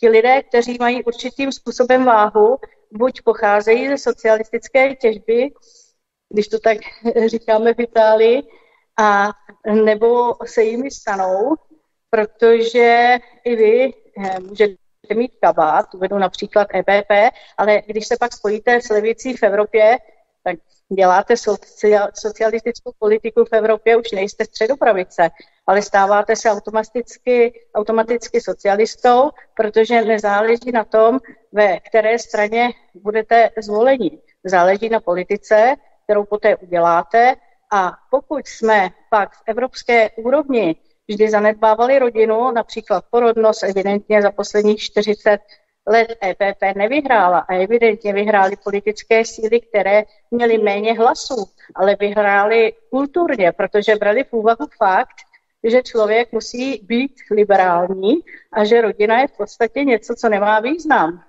A my víme, že bez dětí a bez rodin naše společnost nefunguje. Někdo jiný věří, že místo toho děti mohou být nahrazeny imigrací jakéhokoliv druhu, protože neberou v úvahu zásadní věc a dívají se na to jako všechny diktatury. Neberou v úvahu, že lidé mají kořeny, mají kulturu, mají tradici, mají identitu a v podstatě je přirozeností, že ji nechtěli, nechtějí ztratit. Naopak si ji chtějí obzvlášť udržet. Ale není náhoda, že určité pojmy, jako je pojem vlast, země otců a matek, je to krásný koncept, je to pouto, které máme s naší zemí a s našimi předky. Když teď řeknete, že jste vlastenec, automaticky vás zařadí mezi pravicové extremisty, fašisty, nacisty a tak dále. Ale tak to vůbec není. Ale proč existuje tato myšlenka? Proč se tak krásný termín stal ošklivým? Není to tak, že by se věci děly náhodou. Stávají se, protože někdo vytvořil kulturu, která vedla k tomu, že určitá slova jsou považována za negativní. Kdo tedy vyhrál? Vyhráli ti, kdo potlačují evidentně nepřátelskou kulturu, protlačují evidentně nepřátelskou kulturu, například ke konceptu vlasti.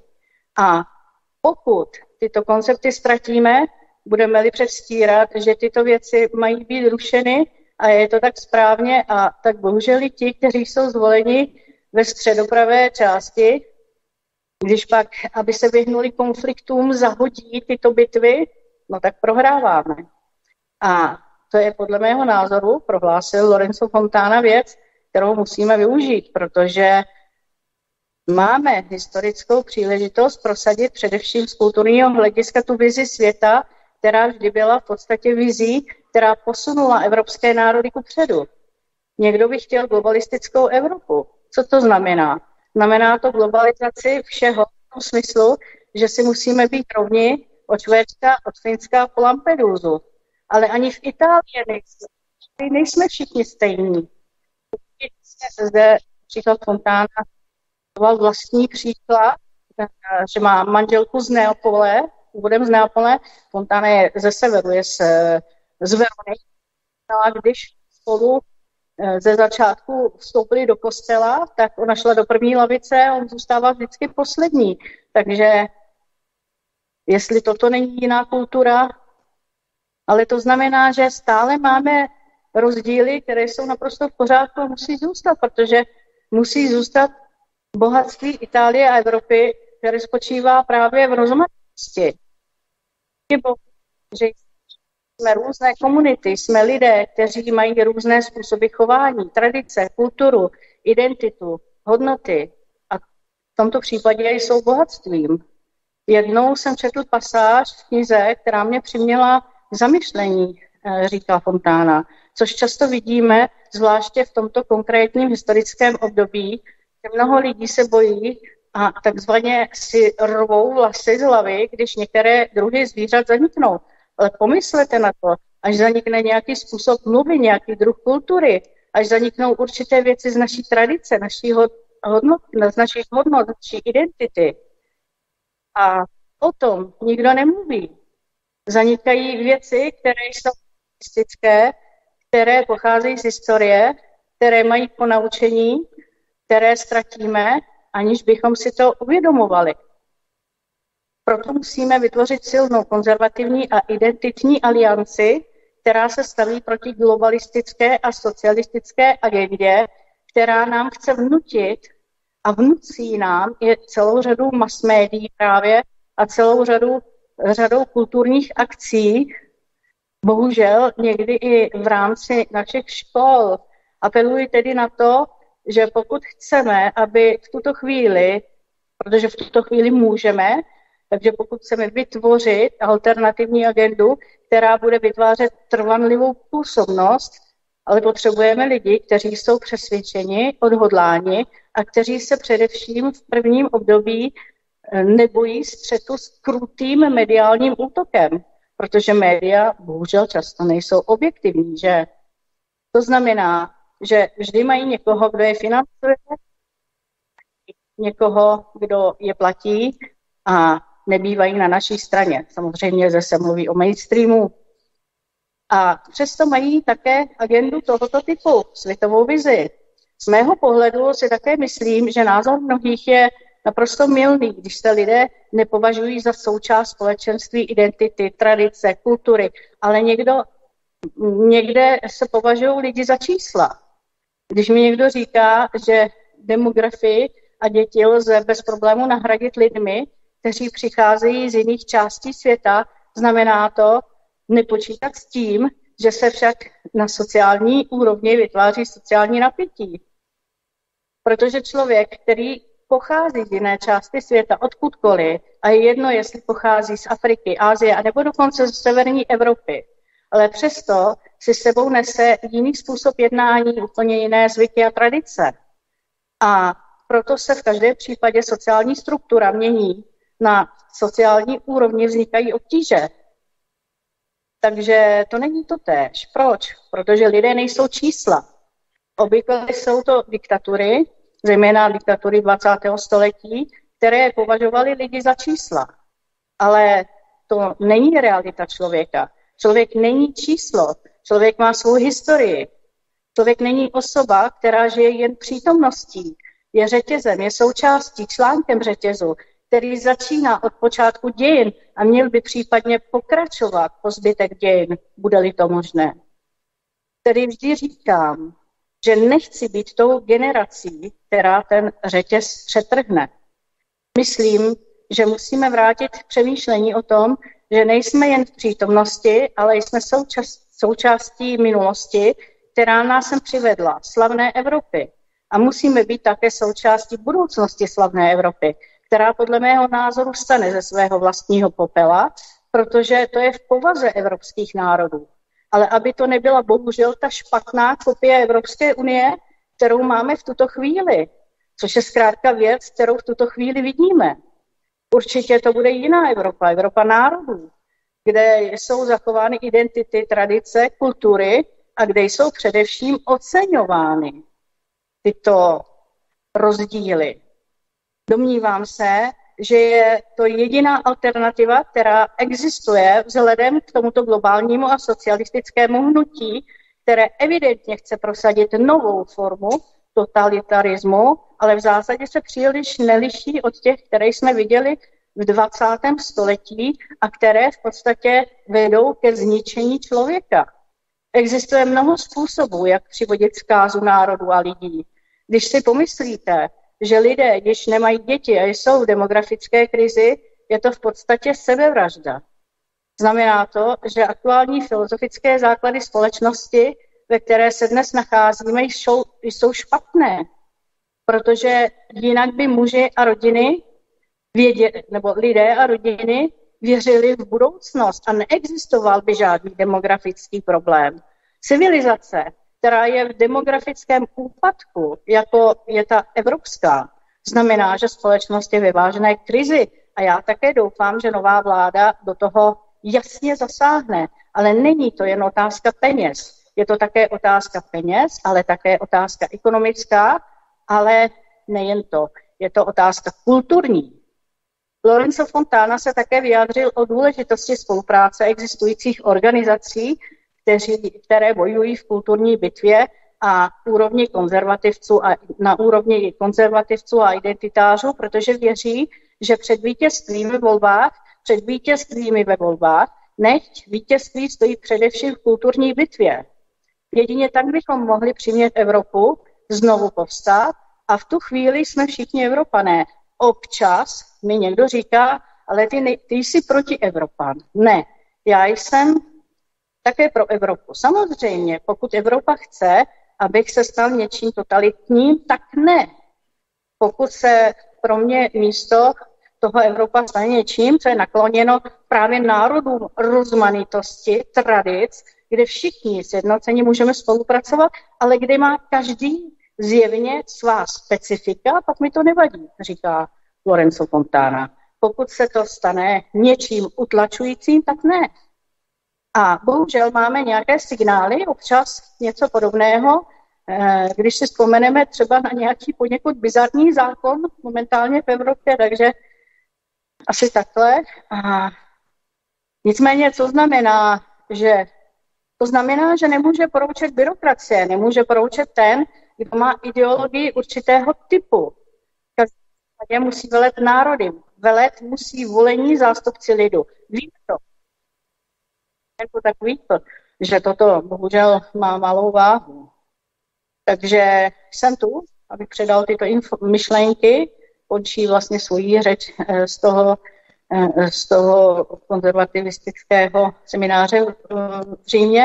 Takže jsem tu, abych předal tyto myšlenky a momentálně teda eh, i přeze mě, tuto chvíli vám, a poděkoval těm, který, kteří vedou tuto kulturní bitvu a doufám, že na evropské úrovni existuje stále více spojení mezi všemi těmito hnutími. No a základní bitva se může stát na úrovni veřejného, veřejného, veřejného mínění jako nedostačující, ale kultura a myšlenky mají větší váhu v politice. A jsme ve všeobecných volbách. Takže ze strany vlastně myšlenky lidi a, a, a mm, předsedy sněmovny v Itálii Lorenzo Fontana. Ještě jenom jeden velmi krátký pohled zase ze strany eh, jiného. Takže pro další specificitu konzervativní myšlenky a konání Itálie bych ještě uvedla stanovisko odborového svazu práce UGL. Jehož práci znám a když jsem byla nominována na zahrani- Eh, do zahraniční konzulty pro zahraničí, tedy pro Českou republiku a Slovensko. Oslovila jsem ředitele zodpovědného za mezinárodní vztahy organizace UGL, italsky dá UGL česky, jimž je tedy Gianluigi Ferretti a zde je jeho poselství. V Itálii představuje UGL sociální duši konzervativního světa, je domovem dělníků a důchodců ligy, eh, Itálie a také Forza Italia. Jako jediný pravicový odborový svaz v Evropě a ve světě jsme již více než 70 let jakýsi anomálí. Konzervativní strany si v posledních letech všimly, že mnoho jejich voličů se nadále obrací na socialistické a komunistické odbory, aby hájili své zájmy a žádají nás o pomoc při organizování odborů podobných těm našim. A tak vznikla Union Blue, blízká britské, britské konzervativní straně, Solidaridad, blízká španělské strany Vox, Moš, blízká Orbánových maďarských odborů, Meridian, blízkosti rumunské strany AUR. Odbory blízké Rassemblement National ve Francii a odbory blízké portugalské straně Chega jsou v procesu zakládání. Zastáváme se ústřední postavení pracujícího člověka. Práce na celém světě ztratila svůj ústřední význam. Finance, příjmy z nemovitostí a půdy, spotřeba vytvořili křehké základy neudržitelného ekonomického systému, který postupem času způsobil vážné nespravedlnosti. Proto je nutná změna mentality, nebo lépe řečeno je nutná skutečná konverze. Obnovit ústřední postavení člověka, který pracuje. To znamená jednu přesnou věc. Na rozdíl od toho, co se léta hlásalo, jsme ve fázi, ve které je nejprve nutné produkovat bohatství, kvalitu, výzkum a integraci, hodnotu a teprve poté konzumovat. Fáze, ve které je třeba, aby se finance navrátily zpět k funkci, být nástrojem pro budování budoucnosti. A k dosažení tohoto bodu obratu, který musí zapojit srdce i hlavu, je však nutné vrátit se k myšlence, že práci nelze nikdy redukovat pouze na její instrumentální rozměr, ačkoliv je to podstatná součást. Ve vyspělé společnosti je třeba chápat práci spíše v její antropologické šíři, tedy cestou k plnému vyjádření lidských schopností. 5.4.2023 podepsala italská odborová organizace práce UGL společně se španělským odborovým svazem Solidaridad a maďarským odborovým svazem Most Manifest, aby řekl ne třídnímu boji, který je třeba překonat za účastí dělníků ve vedení podniků a za obranu důstojného života s platem, stabilitou a pracovními podmínkami, které umožňují důstojný domov, rodinu a přiměřený důchod. Takže to bylo asi vše z mé strany. Děkuji vám.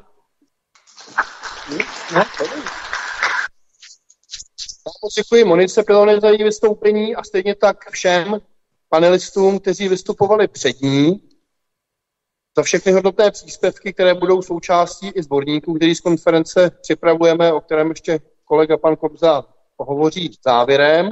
No a nyní už se pro, otevírá prostor pro vás, pro naše hosty, pro debatu a diskuzi, která má z hlediska vašich příspěvků dvě možnosti. Buď klasickým způsobem položit otázku komukoliv z panelistů, anebo provést krátký příspěvek, zhruba dvouminutový, na témata, o kterých se hovořilo, na určitá doplnění a vlastní pohledy. Mám tady dvě přihlášky do této v úvozovkách rozpravy už dopředu. Prvním je doktor Král, potom pan poslanec, pan doktor Zlínský. Takže poprosím pana Krále, vždy přicházíte, prosím, sem dopředu, sem dopředu k mikrofonu.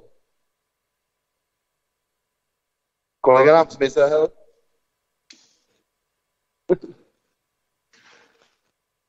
Dobře, tak prosím ten dotaz odsuňte, ale ty další už tady zepředu z toho mikrofonu. Aha, přišel tady. Tady z toho? Možná, možná sobo. Tak, dobrý den. Já jsem Jaroslav Král, jsem místo předsedou České strany národně sociální.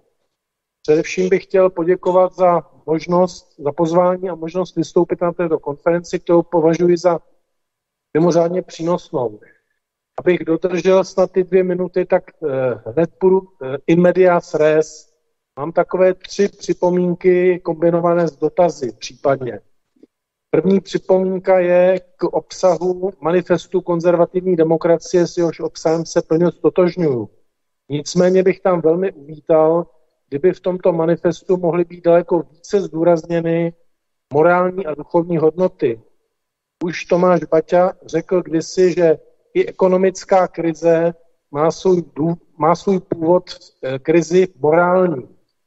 Co si myslím, že bychom tam měli naprosto pregnantně a důrazně vyjádřit, je naše návaznost na židovsko-křesťanské tradice naší společnosti. Ať chceme či nechceme, ať jsme či nejsme věřící, tak přece jenom v kultuře, eh, v literatuře, v příslovích národních, celé té naší kultuře se projevuje křesťanské civilizace. Se tam měli ještě více zdůraznit. Je to tam tak, jako bych řekl, trošku soft. byla první připomínka.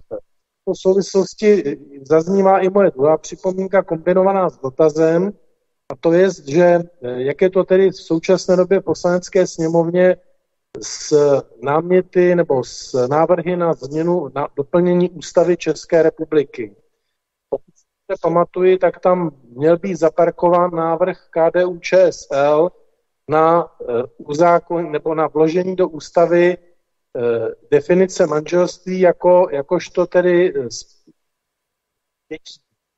to si myslím, že bychom měli také jednoznačně podpořit, ale nevím, jak je to teda daleko, ale k tomu bychom se měli přihlásit, protože jsme svědky toho, že v současné době eh, menšiny, ať už sexuální menšiny nebo jiné menšiny v podstatě šikanují, šikanují tu, eh, tu většinu společnosti, tu mlčící většinu, kterou tady už, která tady byla už zmíněna. Mimochodem o té mlčící většině se první zmínil generál Antonio Spinola v takzvané revoluci, revoluci karafiátů v Portugalsku.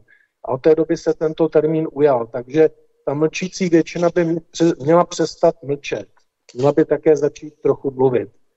Takže jak je to s tím lidoveckým návrhem, který bychom také měli podpořit? A třetí otázka, třetí připomínka eh, je, ta se také týká případné změny ústavy, a to je začlenit do ústavy pojem národa.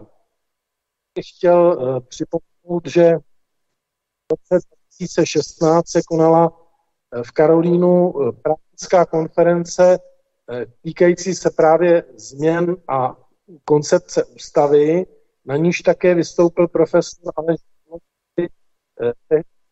katedry, katedry ústavního práva v Praze. A já chtěl tady chtěl připomenout jeho tehdejší návrh na změnu ústavy, spočívající vložení, vložení definice národa. Já jsem to tady tedy stáhnul, stáhnul z, z internetu tehdejší a dovolím si to tedy ocitovat. Profesor Podlo. Ústava začíná slovy, že Česká republika je svrchovaný stát. Mohl by být zde vložen článek. Česká republika je vlastí příslušníků českého národa a příslušníků národnostních účin a entit, které jsou s ním spjaty, uvedl Gerloch. Vyjádřením tohoto sepětí je podle něho státní občanství. A proč chce národ vracet do ústavy? Jsme v zásadní změn které se budou dotýkat ústavnosti fungování státu. Jsou to procesy stejně významné jako v roce 1990 ne zásadnější. I ty státy s dlouhou tradicí ústavy s tím budou konfrontovány. Nevystačí s dosavadními tradicemi, řekl v plénu Gerloch. Pak ho kritizoval ovšem Pavel Rychecký, který se rozčil, že, že se snaží oslábit občanský princip ústavy. Tak to, což nepřekvapí, opět myslím, že, že, že pan Rychecký opět nesklamal. Tak já bych tedy eh, na závěr tedy chtěl připomenout tu důležitost eh, národa, akcent, akcent na národ a jinak se mi velice líbil tehdy příspěvek eh, Michala Semína, který tuším, že to bylo v debatě spolku Svatopluk, definoval ten národ jako společenství tedy mrtvých, živých i těch dosud nenarozených. Takže myslím si, že bychom měli toto své dědictví také kultivovat a snažit se o jeho ústavní zakotvení. Takže děkuji za pozornost a na závěr předám panu poslanci Kobzovi dva články. Jeden se týká vložení náro- eh, definice národa a i tedy případně i vložení českého jazyka, protože na Slovensku to mají, my to nemáme. Tady bychom se asi mohli, mohli našich slovenských bratrů inspirovat. Děkuji za pozornost. Já děkuji taky a pan Jiří Kobza bude reagovat. Prosím.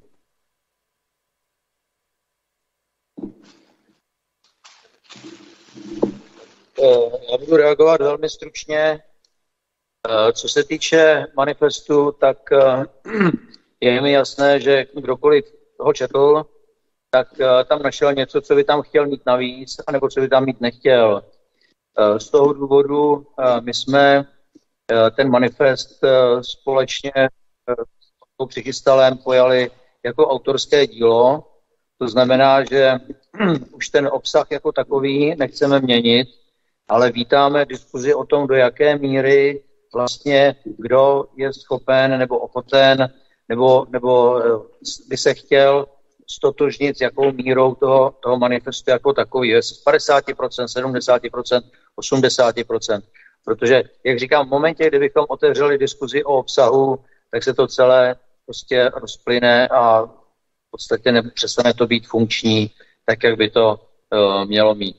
Uh, druhá otázka, návrh na změnu ústavy, co se týče uh, toho návrhu KU, tak ten je tuším v prvním čtení, uh, my ho podporujeme, ale zatím je otázka prostě otevření ústavy jako zákona, to je otevření pandořiny skřínky a potom samozřejmě je zde reálné riziko, že se v zápětí do ní pokusí vpašovat věci jako Eh, korespondenční hlasování a podobně, což je zase pro nás nepřijatelné. Takže je to takový, takový tanec mezi vejci.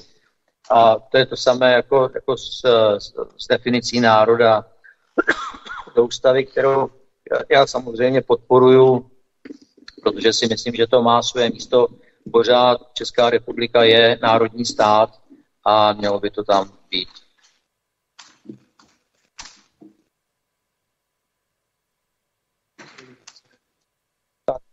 Tím pana doktora a potom bude na řadě paní doktorka Samková.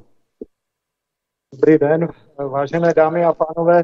Já eh, trošku obrátím list a upozorním na jiný fenomén, který považuji za mimořádně důležitý. Já se trochu představím, eh, jak tady bylo poznamenáno, jsem lékař, jsem poslanec SPD a jsem členem výboru pro evropské záležitosti. A zde eh, se dovídám to, že Evropská unie deklaruje eh, dva hlavní pilíře. První pilíř asi znáte, to je Green Deal, slavný Green Deal, ale pak má druhý pilíř, který trochu uniká naší pozornosti. A ten pilíř je digitalizace, digitalizace společnosti. A my bychom eh, měli tento fenomén vzít v úvahu, protože Evropská unie, vy to asi nevíte, chystá devět datových prostorů, eh, kde Eh, se bude snažit získat o každém z nás a o životě společnosti všechny možné informace. A já jsem měl tu možnost eh, pravodajovat první z těchto datových prostorů a to byl prostor pro zdravotní informace. A ani nechtějte vědět, které všechny informace chce Evropská unie o nás získat a rozdat různým zájemcům bych chtěl zmínit to, že jako, jako říká, říkáte si, na co jim ty informace budou využít. Ale bohužel se kterého se máte, to je progrese vývoje systému umělé inteligence.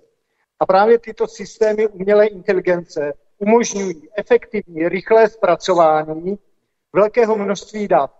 Takže tady hrozí, je to trošku v úvozovkách, protože každá věc má své dobré a špatné stránky, ale hrozí tady takzvaný emergentní je. To znamená, že spojením těch senzorů, má nás obklopuje současná společnost, vybudování, vybudování sběru eh, a prostřednictvím eh, zpracování těch umělé, eh, umělé inteligence, tak může to, že k efektivnímu možnému centrálnímu řízení společností může dojít k tomu, že dojde k nějaké vynucené závislosti na těchto systémech a nakonec vidíme, že ta vynucená závislost pomalu vzniká, vezměme Eh, datové schránky a pokud nevíte, proč máme nedostatek léků, tak eh, údajně za to mohou výrobci léků a distributoři, protože to špatně naplánovali. A pak se dovíme to, že to špatně naplánoval stroj. Takže přeloženo do češtiny, oni používají na to nějaký software, pravděpodobně na základě těch neuronových sítí, který prostě tu situaci vyhodnotil špatně, protože jsme se dostali do krizové situace. Takže já bych chtěl, abychom se jako konzervativní síly k, to, k tomuto fenoménu, který je teda úplně nový, nějakým způsobem postavili, protože, jak jsem tady řekl, on má své kladné stránky, protože si myslím, že je tam možnost urychlit vědecko-technický pokrok, jak tady o tom mluvil pan eh, profesor Budil, že ten vědecko-technický pokrok zaostává v některých směrech a v některých směrech ne. Že v biotechnologiích, IT technologiích a umělé inteligenci ta progrese je. A my musíme jako konzervativci jasně tomu postavit a říct, co je na tom špatně, co je na tom dobře a to dobře zdůraznit a to špatné odsoudit. Takže můj dotaz zní, jak se k tomu postavíme. Děkuji vám za pozornost.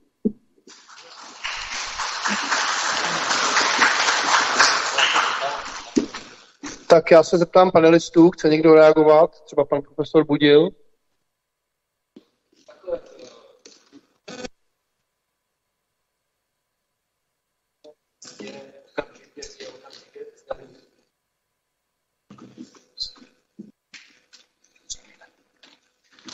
Já jsem hovořil o tom, že od přelomu 60. 70. let pozorujeme v západní, spole, v západní společnosti nepoký a vývoj vědy, vědeckého což nás nevýhodňuje v konkurenci s mimoevropskými, s mimoevropskými civilizacemi. A tuto snahu brzdit uh, novodobou racionalitu se uh, spojil s nástupem uh, novomaltuzánství.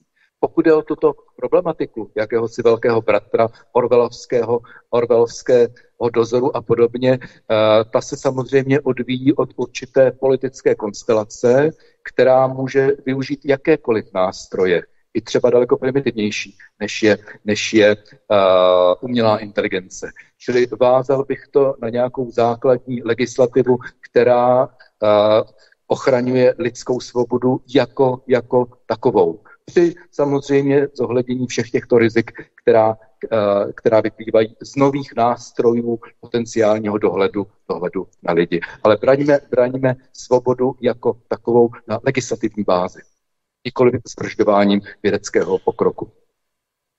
Děkuji. A ještě pan Kobza chce doplnit?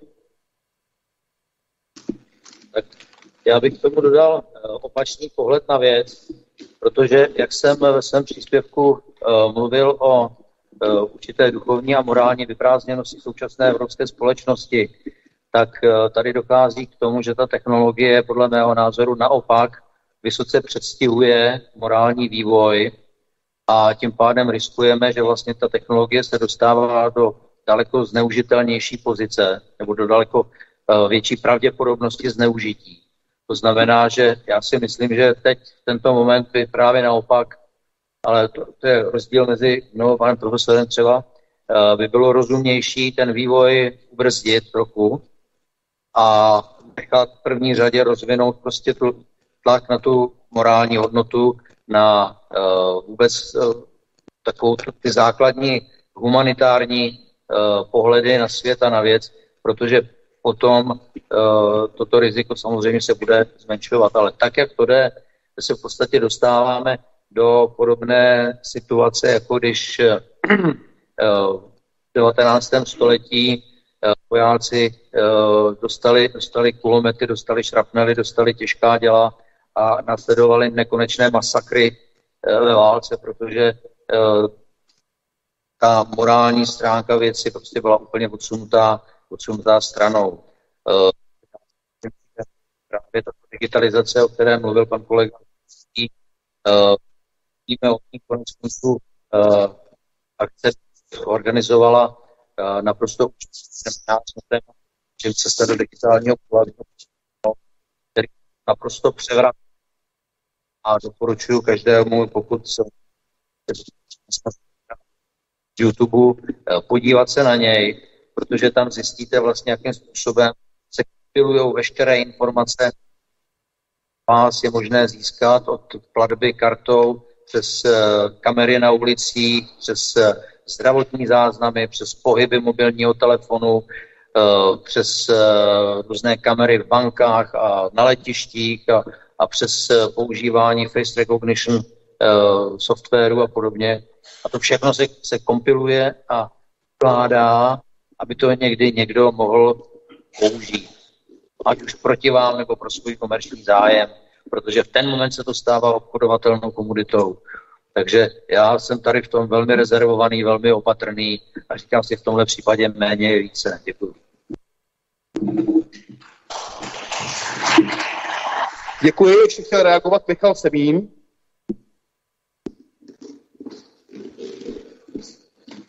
A jenom kratičce, já myslím, že konzervativci, rozhodně ty kontinentální, byli vždycky velmi eh, opatrní, obezřetní, pokud šlo o technologie, nebo dokonce i odmítaví. Že můžeme tady vzpomenout ty rozbíječe strojů a podobně za první průmyslové revoluce. Eh, ne, že by to, byla, že by to byl jakoby návod na to, jak postupovat eh, určitě novým digitálním technologiím, ale přeci jenom to, co tady pan poslanec Zlínský vznesl jako téma, je strašně důležité. My eh, jak, jak v té situaci nastupující digitální najít byly zmiňovány nějaké ty legislativní návrhy hledně uh, manželství. Ještě je tady jeden zajímavý návrh, to se týká toho práva na hotovost. Eh, aby uh, možná by bylo dobré to obecně rozšířit, to právo na to žít analogově, že teď s příchodem těch datových schránek a tak dále, že tak se postupně krok po kroku celý náš život vlastně převádí do této digitální sféry. A protože tu pan poslanec zmínil ten souběh obou těchto těch vizí, jednak té zelené, tak té digitální, tak já to zakončím snad trošku optimisticky, i když jako světí, která nebude jednoduchá. Přejme si, aby se to těm Green Dealistům podařilo. Protože pak nastane blackout. A celý tenhle ten digitální projekt v tu chvíli bude, a, a, my, a my v tu chvíli budeme blíž té přírodě, než si ty Green Dealisti možná v tuto chvíli představují. Děkuji, paní doktorko Samkovou, poprosím.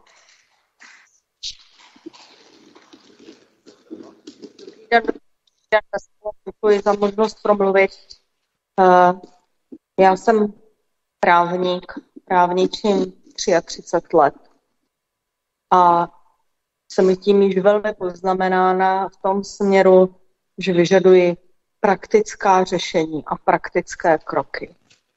A e, asi se tady všichni zhodneme a nejenom zde, že jsme si nikdo nedovedli ani představit, jakým způsobem je možno vládnout. Že je možné zavést zemi do války, aniž by válka byla vyhlášena, eh, že je možné v podstatě udělat z naší zemi kolonii, aniž by o tom proběhlo sebe menší hlasování, eh, že je opět možno um, pozvat cizí vojska a člověk se ani nemusí jmenovat Bilak. Uh, já Eh, hledám praktické kroky k tomu, jak prezentovat a jak být připraven na převzetí moci. Protože dnešní opoziční politické strany, tak těm nezbývá nic jiného, než se, eh, než se připravovat na převzetí moci, aby nějakým způsobem se pokusili hledat cestu k nám. Já už jsem se stará o opotřebovaná, ale já, jako třeba když vezmu jenom svoji odbornost, tak já si téměř nedovedu už jako kudy z toho vylez. Nicméně je třeba na tom pracovat a já si myslím, že se měli udělat základní zároveň deklaratorní volební program, byly ve formě sborníků a, a nějakých eh, katalogů, kde mají vždycky jenom velmi omezený počet čtenářů a obvykle jsou to ti, které už jako není potřeba přesvědčovat. Ale prostě udělat deset legislativních návrhů naprosto uh, jaksi jednoznačných, ve formě legislativní, která je e, dána včetně e, e, důvodové zprávy. Začneme ústavou a už tady máme první návrhy. Národní stát, manželství právo být, žít offline, právo na platby v hotovosti. Já bych k tomu ještě přidala právo být držitelem zbraně. A myslím, že těch návrhů, který by se do této kategorie jak se mělo promítnout, takže ještě by se nějaké našly. To je jenom prostě ty, ty poslední, co mě padly. Další zákon samozřejmě je um, volební naprosto konkrétní, ale uh, my víme, jak ty volby mají vypadat, ale paragraf 95 odstavec 4 písmeno B se vyškrtává, nahrazuje se textem dvojtečka. To je prostě to, co tady není a pokud to nebudeme mít připravené, tak eh, se tak ztratíme neuvěřitelné množství času v době, pakliže by se dnešní opozici podařilo uh, moc převzít. Já jsem ekonom. Doktor Pihlíková, já ji prosím. Já jsem já jsem, já jsem skončila s trojčlenkou, co se týče ekonomie a co se týče fyziky. Uh, ale jenom si říkám, jak je možné, že chází ročně 250-300 miliard. Uh, to ještě jako daleko víc.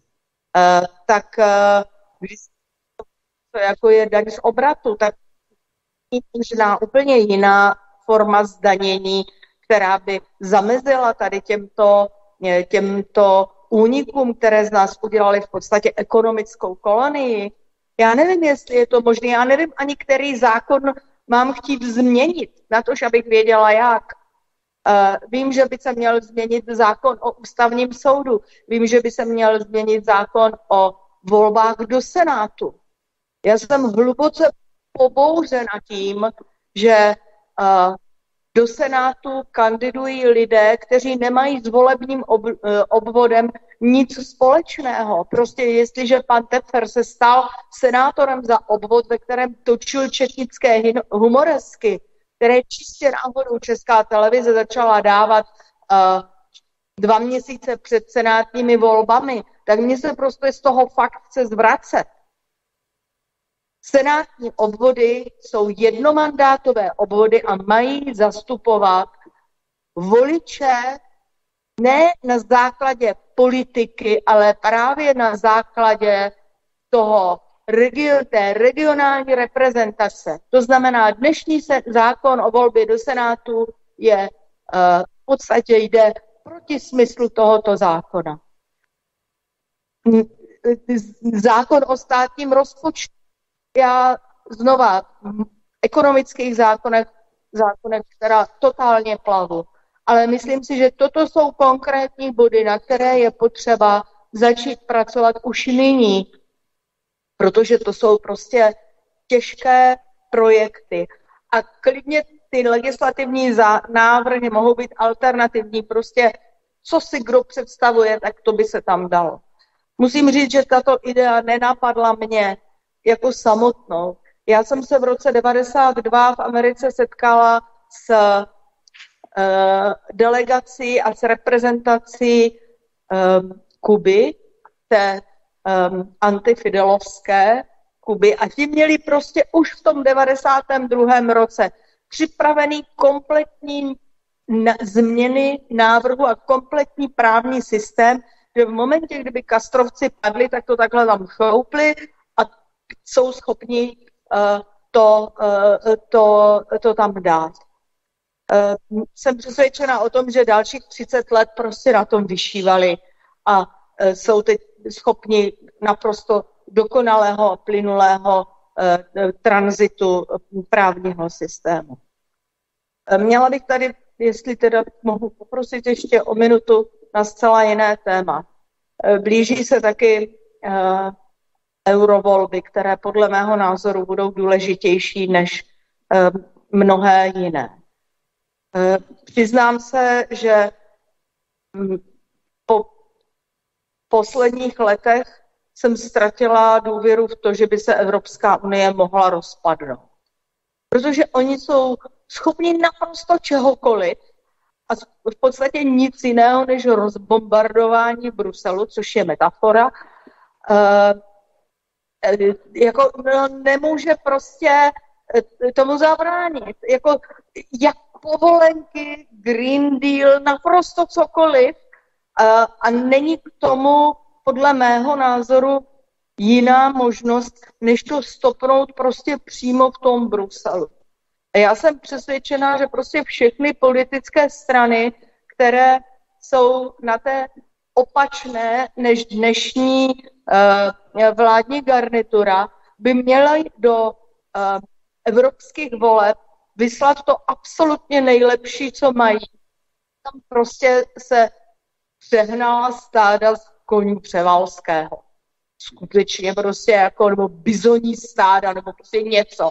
Nic jiného než udupat. To prostě není možný.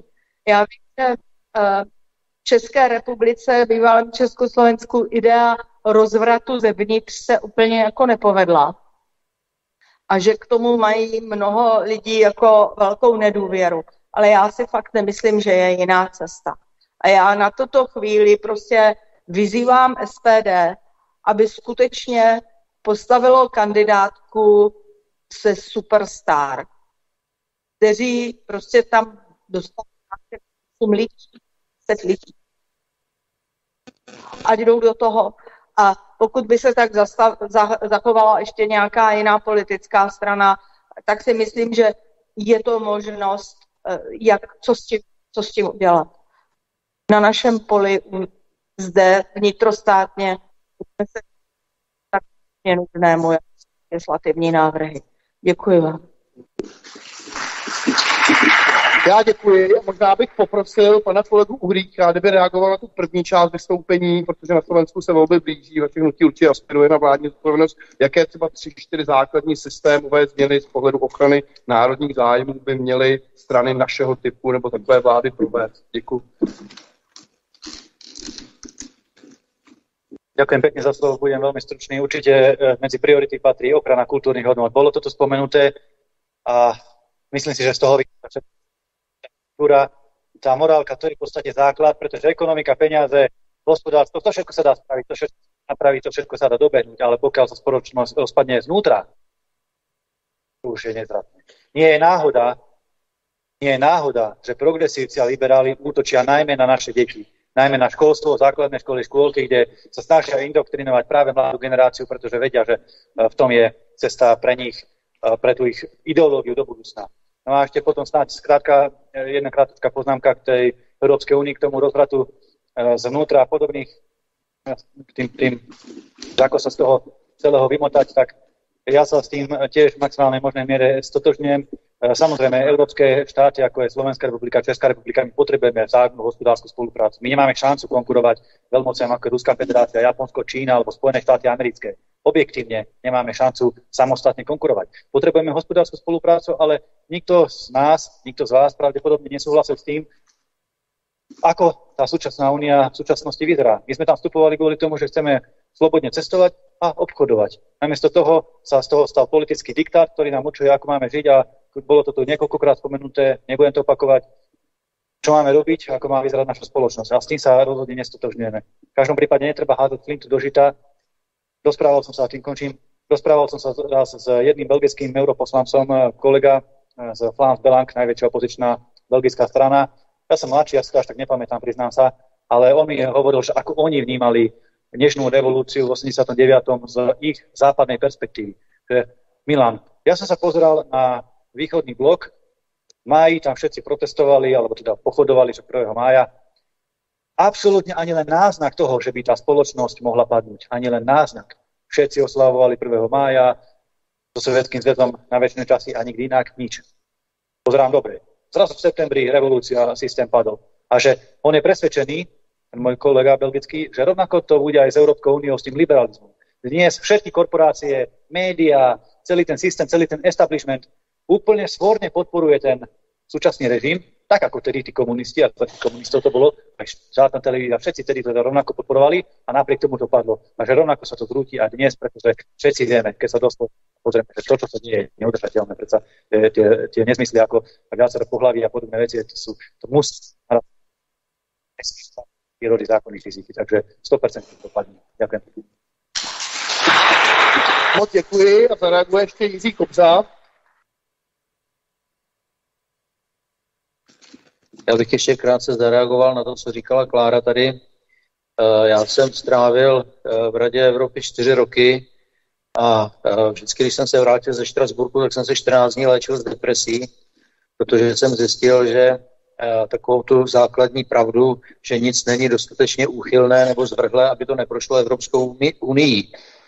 A stejně jako v případě našeho Senátu, že jenom Senát může rozpustit Senát, tak potom samozřejmě Jedině Evropská unie může rozpustit Evropskou unii. To je prostě fakt. Ale je tady eh, jedna zásadní záležitost, o které eh, se zmínil pan eh, poslanec Uhrík, a to je to, že v podstatě i rozpad socialistického systému byl podmíněn probíhajícími geopolitickými změnami.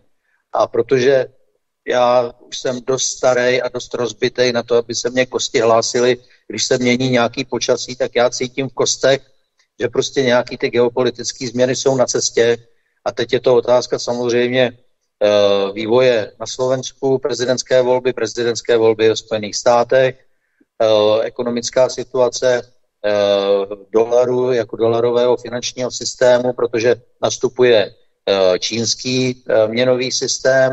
My víme, že už s několika zeměmi Číňani podepsali dohodu v národních měnách, Víme, že dalších 40 zemí o to má zájem a v ten moment, když bude vedle sebe existovat dolarový a janový eh, systém a Čína hodí na trh těch eh, miliard, bilion 110 miliard uh, dolarů, které má v dluhopisech, tak v podstatě ten dolar praskne jako bublina a uh, svět přejde na daleko stabilnější jan, který je, který je krytou měnou, je, je daleko silnější, daleko stabilnější a ti, kteří e, na to, na to nepřistoupí, tak budou mít potom smůlu, že jo? protože jim zbude doma hromada potištěných papírů, kterými si můžou tak vytapetovat.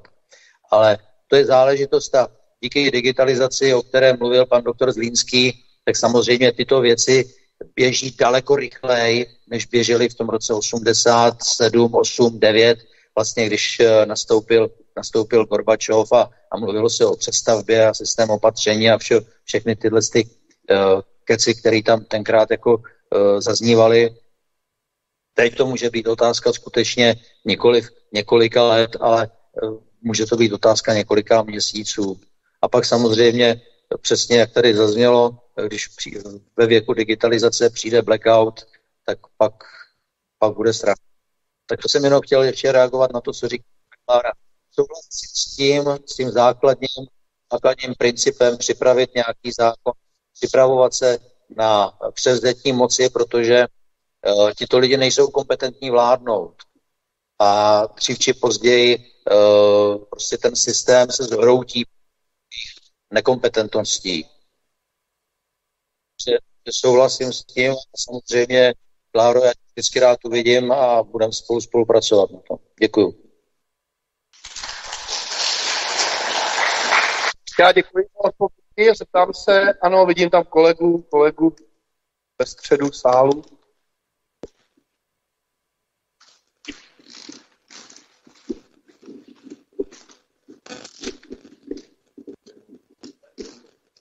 Dobrý den, já jsem Miroslav Čuzenka a chtěl bych navrhnout, víte, a tady zaznělo mnoho velice inspirativních věcí, ale navážu na Kláru, taky souhlasit s tím, že by přivítal nějaký konkrétní místo, některé konkrétní věci, prostě, na který podle mě lidi v této republice od konzervativců čekají. Eh, to mohlo vzniknout už na základě té méně, jak já to vnímám, tak by měl být, stačil by popis stávající situace. A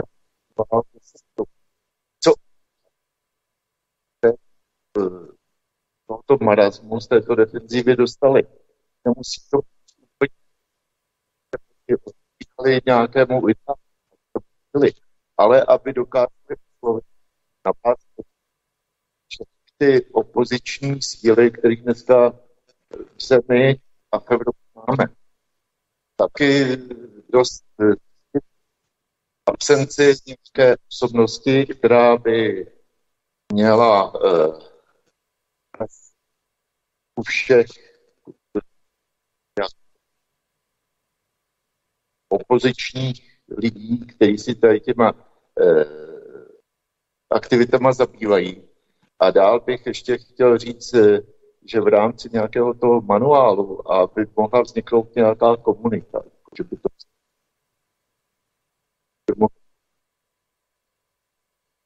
protože potřebujeme prostě reformu. To, co navrhovala Klára, se týká soudnictví, ale my potřebujeme reformu školství. Potřebujeme eh, občanů ke státu. Potřebujeme politiku. Prostě existuje systém, prostě prostě na úplně zbytečné věci. A další důležitou věc, potřebujeme někoho, kdo by byl schopen oslovit mladou generaci. Prostě to, co se děje, to je absolutně příšerný na těch školách a, e, a nepomůže nám, to se, já souhlasím s paní Pilony, že budeme bojovat nějakou kulturní válku. Ve chvíli, kdy, kdy, kdy mají veškeré peníze z dotací, grantů a takhle, tak my v té kulturní válce máme pramelou šanci ve chvíli, kdy ovládají mass média. Eh,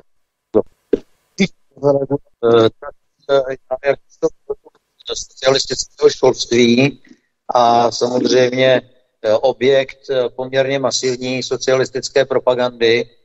Vnímám velmi dobře to, co se teď děje, i ten hluboký rozdíl, který je mezi tehdejší dobou a současnou. My totiž díky minulému režimu jsme vedle té propagandy, jsme dostávali taky velmi kvalitní znalostní vzdělání a díky tomu jsme byli schopni zůstat tak nějak skepticky nad věcí. Když to teď, když uh, slyším v rádiu, že se bude přecházet od uh, znalostního uh, školství k inkluzivnímu a že si mají děti všechno hledat na internetu, což je humorné z hlediska toho blackoutu, o kterém tady byla řeč, tak uh, samozřejmě mě jímá hrůza, protože vím, že ty děti ani nebudou vědět, co si na tom internetu mají najít, protože budou zaplaveni spoustou naprosto balastních, bagatelních informací a ty důležité prostě nebudou schopni rozeznat. Jo. To je jedna věc a to školství samozřejmě je alfa omega. Konec konců my to vidíme i na krajích. V momentě, kdy se někde objeví pirátský radní, tak první po čem skočí je školství. A projekt Člověka v tísni jeden svět na školách zahrnuje nějaké 3600 škol, do kterých děti e, dostávají prostě e, školení nejenom učitele, ale dostávají školení i od těch e, aktivistů vlastně této neziskovky, což je se bohatě dotované ze strany státu a České televize.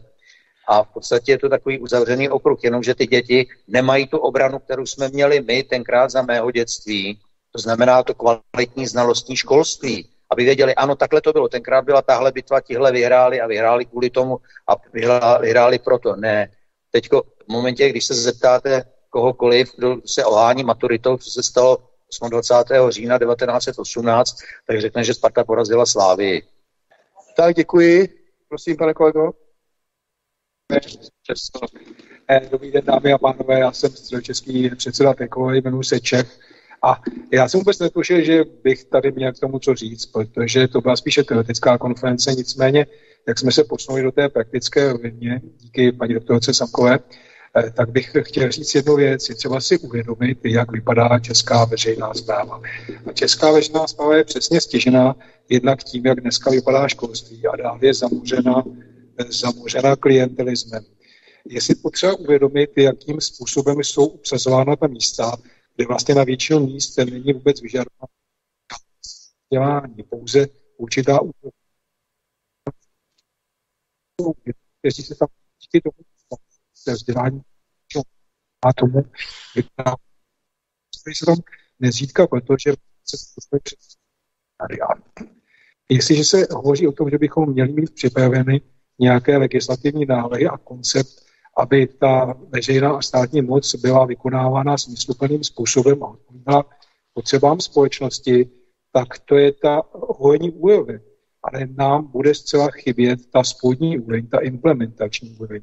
A já to říkám hrozně nerad, ale je třeba si uvědomit, že bude potřeba nějakým způsobem v rámci té veřejné zprávy prostě podívat se na to.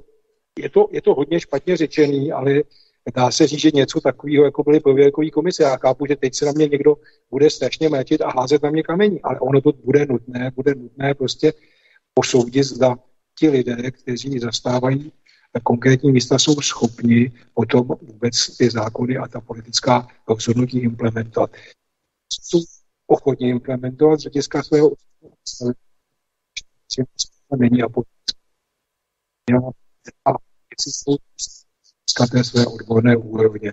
Takže v případě, že by došlo k převzetí moci opoziční stranami, tak to, bude velmi, velmi složitý proces a já si dovedu představit, jaká rezistence bude v té veřejné zprávě proti tomuhle procesu.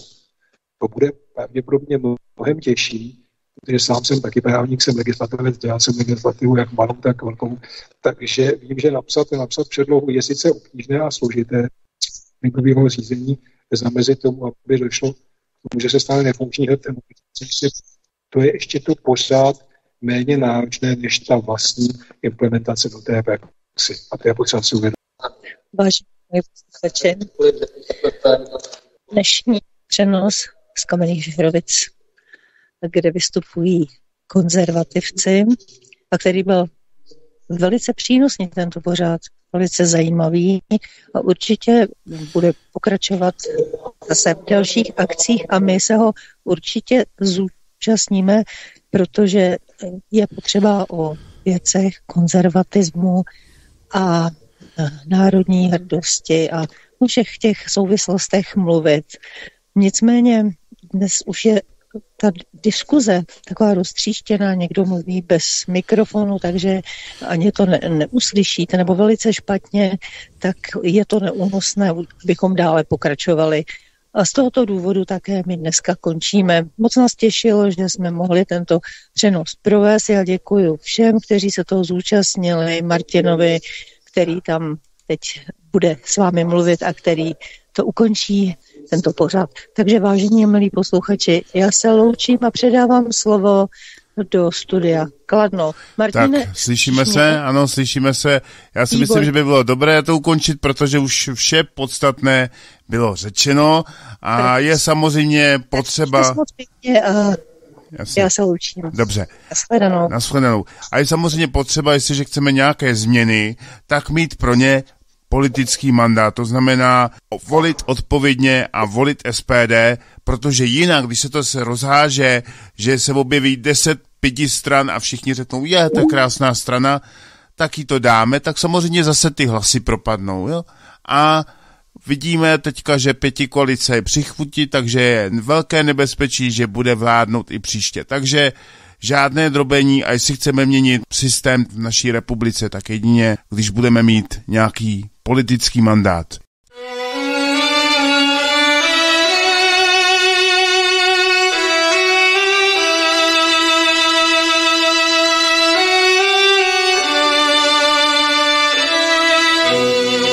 Mám sen o louce rozkvetlé, bosou nohou stál na půdě předků svých sluncem obzor rudě zalitý, paprsek hřál v mých šlépějích. Ta zem tolikrát pleněná, kde střelný prach už vítr svál pokorou vnímám tento dar, mou rodnou zem, můj rodný kraj.